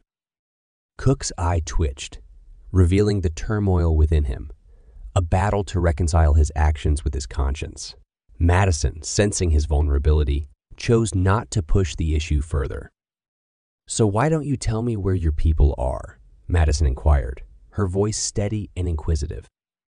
It'd be easier if I drew it, Cook proposed, his demeanor unruffled. Morgan, on the brink of speaking out, was silenced by Piper's menacing click once more. Madison considered the decision carefully casting a glance at Connie for her input. Before Connie could respond, Cook added, Keep a gun on me if you want. Not going to bother me any. Connie nodded subtly and retrieved a pen from behind the counter. She also produced a map of the state and drew her handgun. Keeping it poised and ready, Madison placed the pen before Cook, and he accepted the tool, ready to chart their secrets. There you go. Start drawing. Madison instructed, her tone a mix of curiosity and caution. Morgan's frustration simmered beneath the surface as Cook began marking the map. He traced the lines around several mid-sized towns in the eastern part of the state before coming to a pause. In a swift and unexpected motion, Cook transformed the innocuous pen into a weapon, the tip piercing Morgan's jugular vein. The room fell into an eerie silence as Morgan desperately tried to stem the flow of blood, but it was an exercise in futility. Moments later, he slumped over the desk, his life extinguished by the relentless torrent of blood. A heavy, lingering silence pervaded the room as the three women grappled with the shock of the moment. Cook calmly pushed the map aside, ensuring it remained unsoiled by the crimson tide. I'm afraid I'm going to need a new pen, Cook stated coolly. Madison finally found her voice, her fury palpable. What in the holy fucking hell was that? Cook remained unflinching, his tone steady as he explained, That was me taking out the trash. Taking out the trash. What are you talking about? Madison demanded, her voice carrying an edge of disbelief. Cook offered clarification. You know all those stories about civilians being brutalized and murdered. He was the worst offender. It was like he got off on their suffering. Madison challenged him with a pointed stare. But not you, huh? No, I fought against it as best I could. But I'm in the extreme minority, Cook confessed.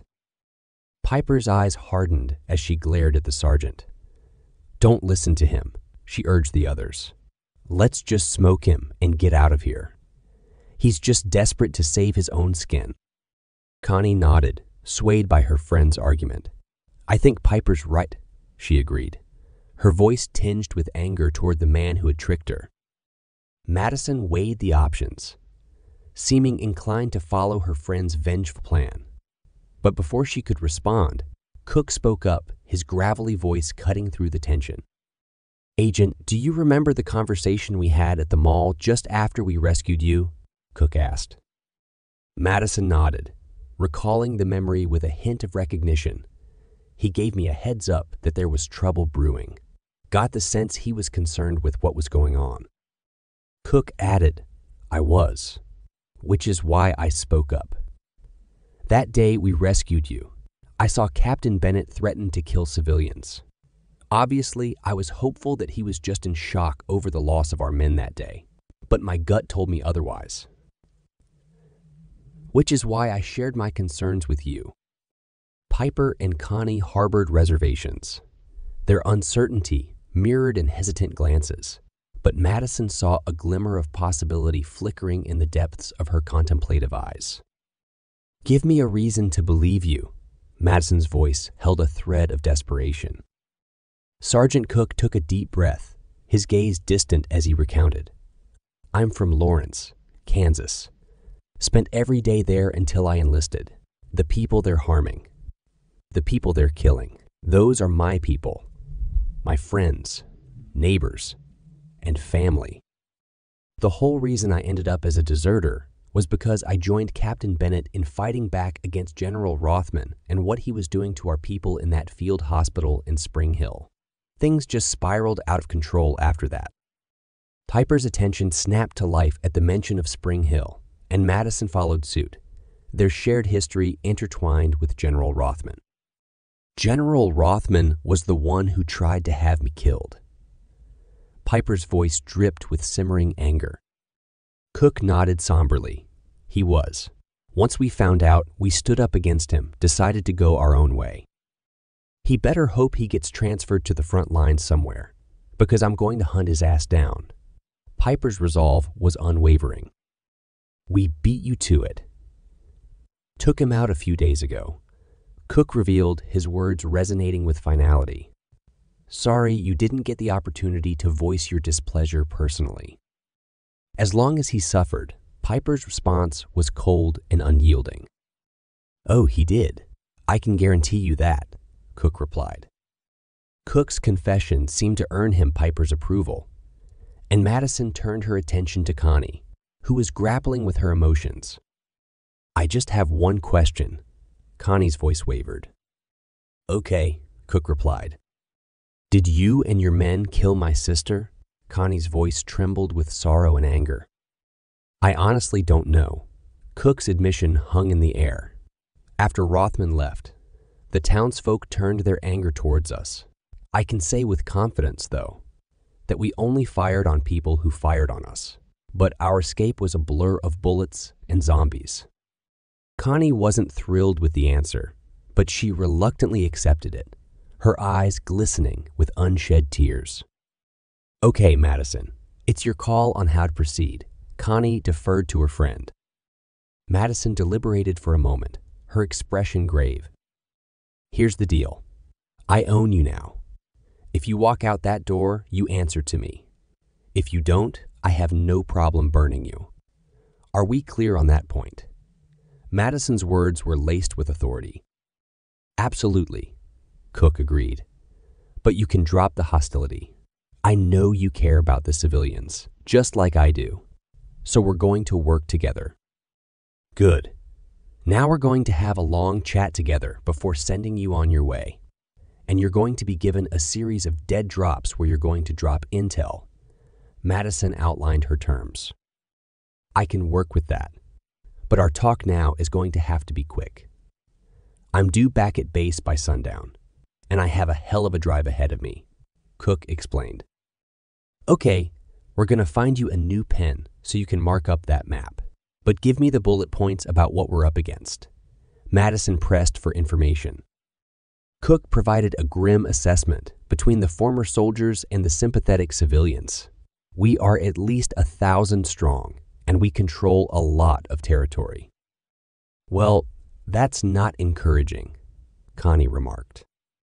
You don't know the half of it. We're not the only deserters out there. We have soldiers stretching out through Oklahoma, Texas, and even into Arizona and Nevada. Turns out that when the military retreated from the bases, they left a lot of toys behind. Cook revealed. Jesus Christ, they're going to roll right over us. Piper's concern was evident. There's still time, because the good stuff is still on those bases. Turns out transporting that stuff is a bitch in the apocalypse, Cook added. How are they planning on bringing it in? Madison inquired. Still debating it at the moment, but we're going to need a big airport. The immediate focus has been on securing the towns and a reliable food and water supply, Cook explained. And how's that going? Madison probed further. Water is secure, still solidifying the food pipeline. But once that's done, the focus will be on fortification and bringing in that weaponry and men. Cook detailed. Do you have a timeline? Madison asked, her tone urgent. A month. Maybe two at the most.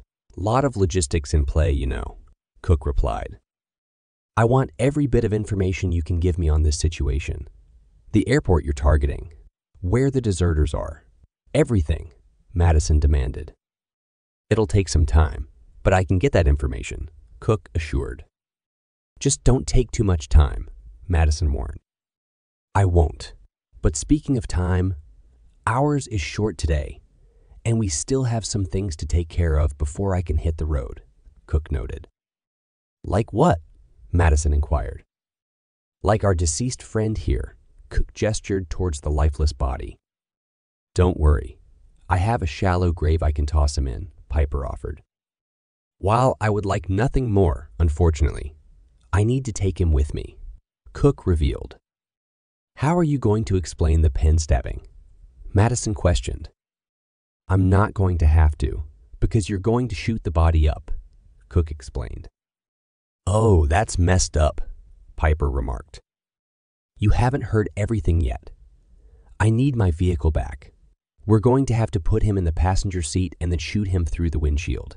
Need to make it look like we were attacked while scouting and I bolted. Cook disclosed. That means you're going to have to be in the car when we fire, Madison pointed out. Which is why I'm hoping you're good shots, Cook said. Madison looked over to Connie and Piper, who shrugged and started walking towards the door. I'll bring the car around, Piper offered, their partnership sealed in a pact of grim necessity. Chapter 8 Madison and Piper grappled with the lifeless body of Private Morgan, their breaths heavy as they maneuvered him into the passenger side seat. It took some effort, but they eventually secured him in place. Piper's hand reached for the seatbelt, but Sergeant Cook halted her with a gesture. He never wore those things, he remarked, his voice low. But he's going to be flopping around, Piper expressed her concern. Cook's response was unexpectedly nonchalant. Good. It'll help sell this illusion. Piper nodded and complied as Cook settled into the driver's seat, fastening his seatbelt. He placed his hands on the steering wheel, taking several deep breaths to mentally prepare for the impending ordeal. Madison interjected, her tone brimming with uncertainty. It's your ass on the line. You tell us how you want us to do this. Cook's voice was firm as he outlined his plan. I need your best shot to take a hunting rifle. Go back about 50 yards and fire through the front windshield. Aim for Morgan's neck so that it gets torn up pretty good. Piper nodded again, taking the weapon from Connie and retreating to her designated spot. Meanwhile, Madison engaged in a conversation with Cook, who was still psyching himself up. You sure you're good with this? Madison inquired. Cook's response revealed his resolve. I'm not a fan of live fire coming my way, but I understand the necessity of it. At least I know you're not specifically aiming for me. Madison, trusting Piper's marksmanship, chuckled in response. She returned her attention to Piper, who was now in position. Here we go, Madison announced as she backed away from the vehicle, signaling Piper to proceed. With precision, Piper took aim, steadying herself and squeezed the trigger. The bullet sliced through the air, tearing through the front windshield and into Morgan's throat. Blood splattered across the interior of the cab, the shattered windshield, and Sergeant Cook, who swiftly wiped it from the side of his face. He also breathed a sigh of relief that he remained unharmed. Madison checked in on him. You good in there? Cook's response carried a hint of humor. Better than I'm about to be. Need you to take that rifle of yours and pump some rounds into the side of the vehicle. His door, shatter his window. Hit him a few times if you can. Then work your way around and hit it a few more times like I'm driving off. Madison hesitated, understanding that Cook didn't need to be inside the vehicle for this part of the ruse. If I don't get some shrapnel and glass in me, they aren't going to buy the story, Cook explained, his voice resolute. Madison nodded and followed his instructions, firing her assault rifle. Rounds struck the door and passenger side window, sending glass shards into the cab, embedding into both men inside. She circled to the back of the vehicle, delivering a few more shots into the rear and back window before ceasing fire. Returning to the driver's side door, she found Cook holding his ear. You okay? Madison asked. Yeah, just got some glass in my ear. And some ringing, Cook replied. Yeah, these things aren't known for the quietness, Madison quipped. I'll live, though, Cook assured her. You better, because we have a deal, Madison retorted. I assume they're going to be keeping a close eye on me for the next few days. So, first drop in a week, Cook replied. Do you know where? Madison inquired. Cook shook his head. I assume one of the southern drop points. I won't know where until I have some idea of the level of freedom they're going to give me. Madison agreed. Okay, I can live with that. Checking his watch, Cook immediately started the vehicle. If I'm going to make it back in time, I need to get going, Cook explained.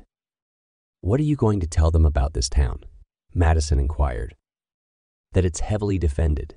Got a little too close to figure that out, though, Cook replied. Good man, Madison praised him.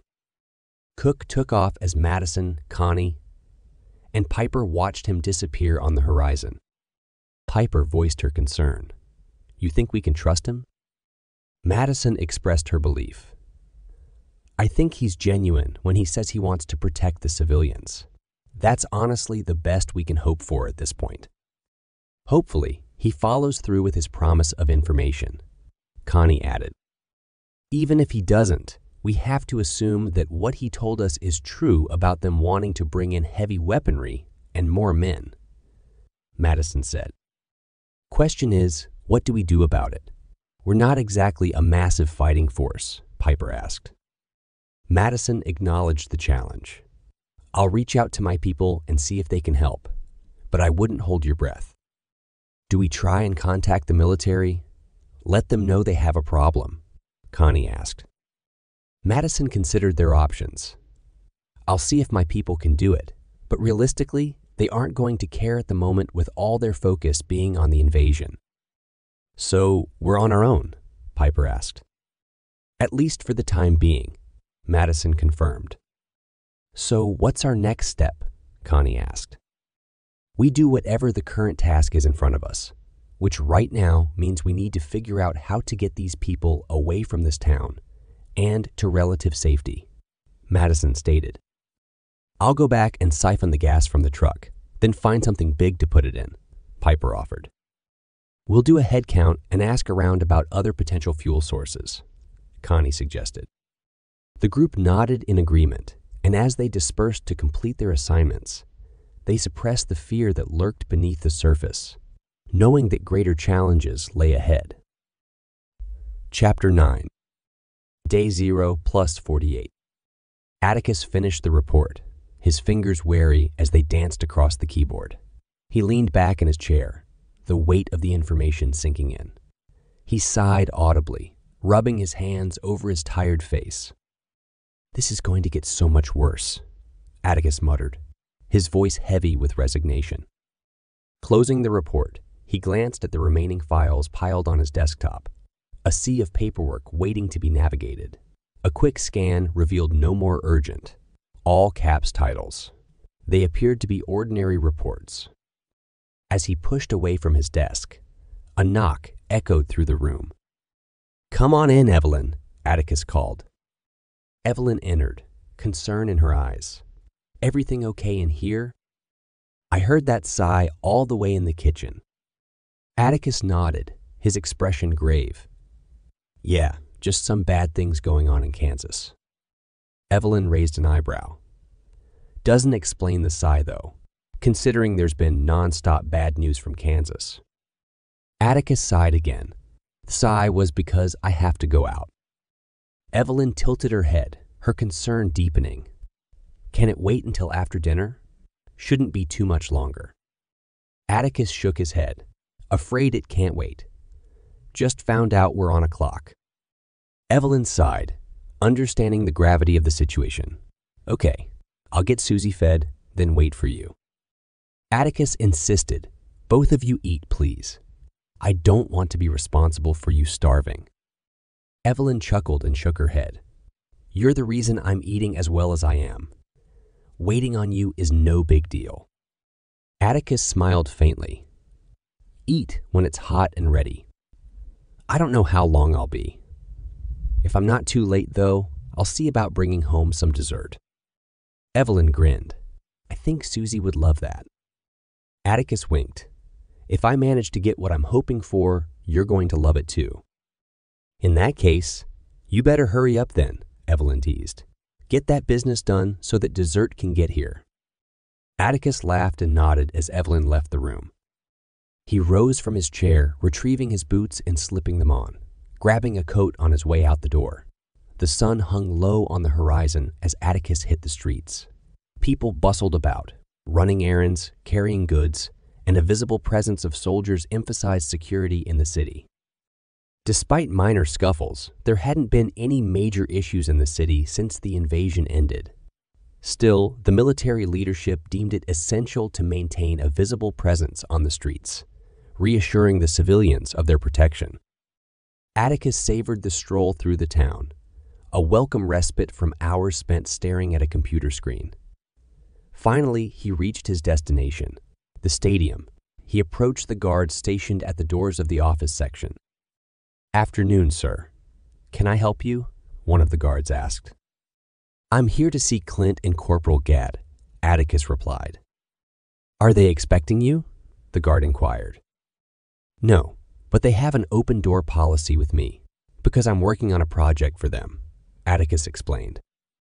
The guard radioed in his request, and after a brief wait, he nodded and opened the door for Atticus. They're in the second floor conference room, the guard informed him.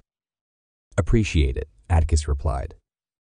Inside the stadium's office section, Atticus observed a hive of activity.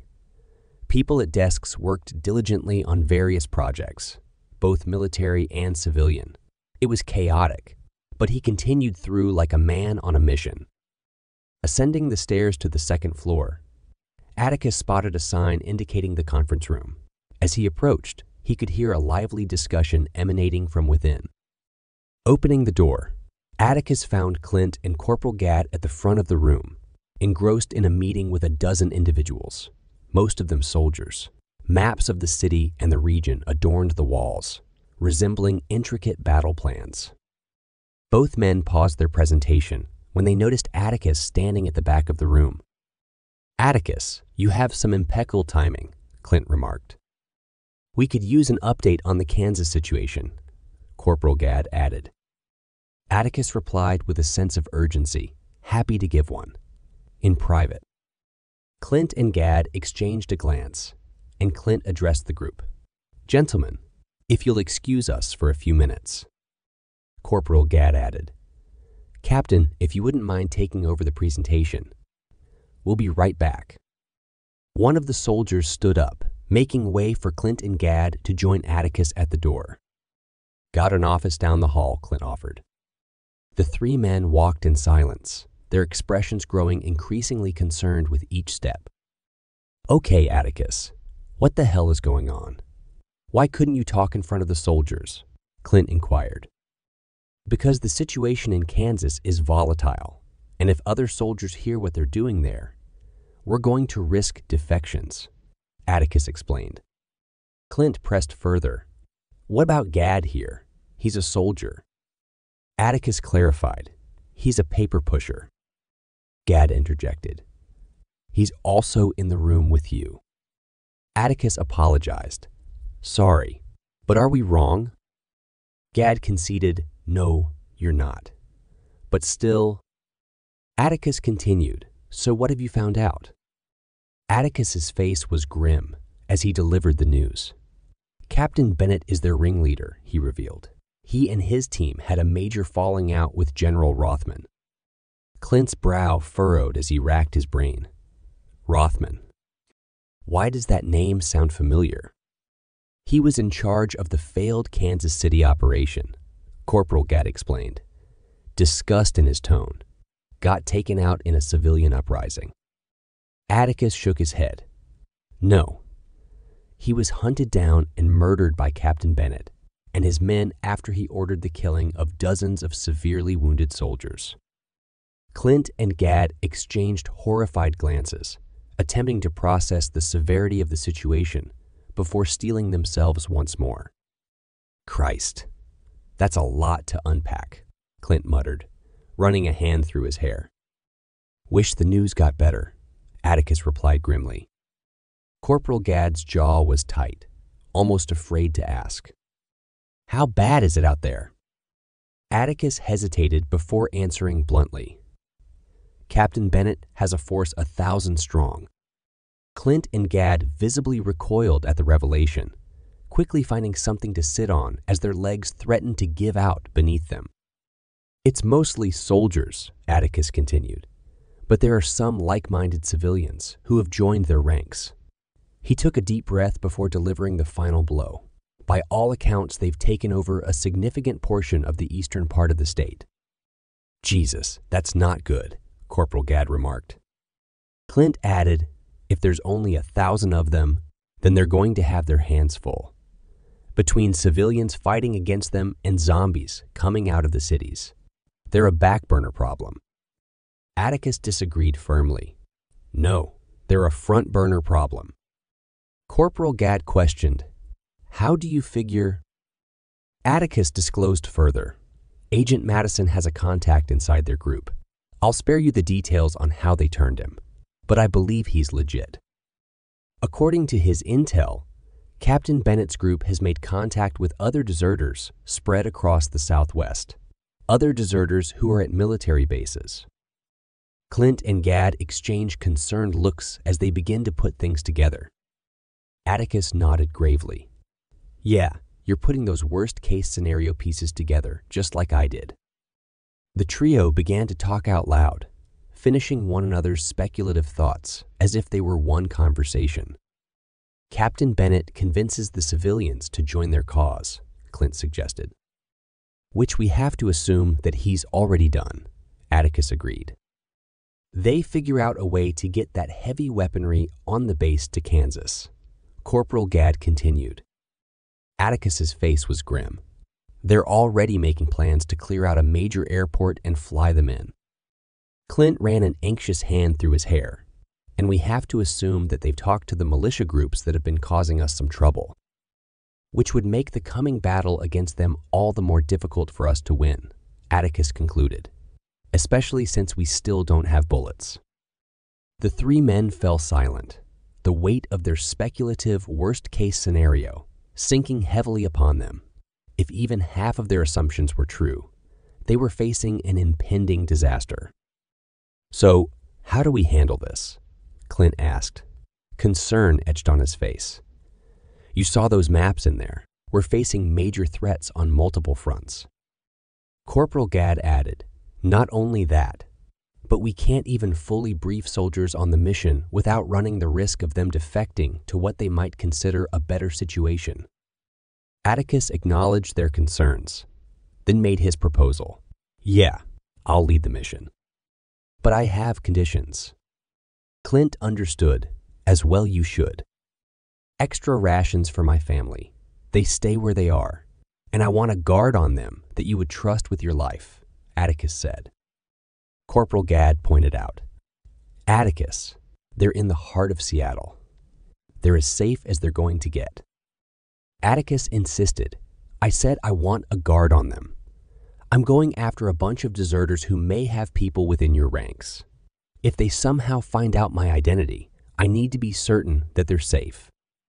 Clint assured him, I know someone for the job, civilian, loyal to me, and would be very excited to have one of my favors owed to him. Atticus added one more condition. I want veto power over the team. Corporal Gadd readily agreed. I have no problem giving that to you. Not only is it your ass on the line, but we're going to need some help building up a team for you to take. Clint concurred. He's right. We're already stretched thin as it is, and with our options limited with soldiers. Atticus stressed his preference. I don't want any soldiers with me on this trip. Clint explained, I understand your hesitancy, but I have people I can personally vouch for. Lifers who are all about the mission. Atticus was firm. You better be 100% about them. Clint reassured him. I wouldn't suggest them otherwise. Atticus made it clear. Okay, but I want mostly civilians. Corporal Gadd questioned, Where the hell are we going to get them from? Most of the people in Seattle have no desire to go back out there. Clint smiled slyly. Oh, I know a few who would be eager to get out there. It's going to be a surgical force, though, Corporal Gadd acknowledged. Even if we had the manpower, we don't have the firepower to send with you to compete with Bennett's group. Atticus shared his strategy. Don't need an overwhelming force just need enough to cause them headaches and to disrupt what they want to do with expansion plans. Clint noted, when you phrase it like that, you make it sound like a suicide mission. Corporal Gadd added, pretty sure we might want to put a different spin on it on the recruitment pitches. The room lightened briefly with laughter before they returned to the gravity of the situation. So, what's the timeline? Atticus asked. Clint revealed the urgency. You need to be gone in 72 hours. Atticus remarked. Not wasting time, huh? Clint nodded gravely. It's the last train out of town for a while. We're planning an operation shortly after that. And if it all goes to plan. Corporal Gadd finished Clint's thought. We're going to be kicking up a hornet's nest. Atticus concluded, Well, just be sure you get it calmed down because I'm going to want to come home eventually. Corporal Gadd reassured him, We'll do our best for you. Clint added the final note. Look, Atticus, hate to cut this short, but we need to get back to that briefing.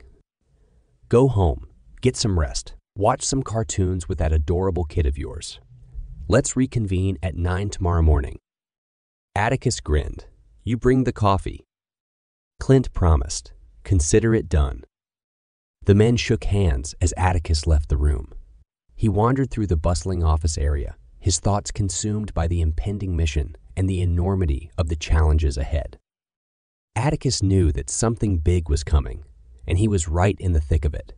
It might not be the largest front, but if his intuition was correct, it was the most crucial one. The end.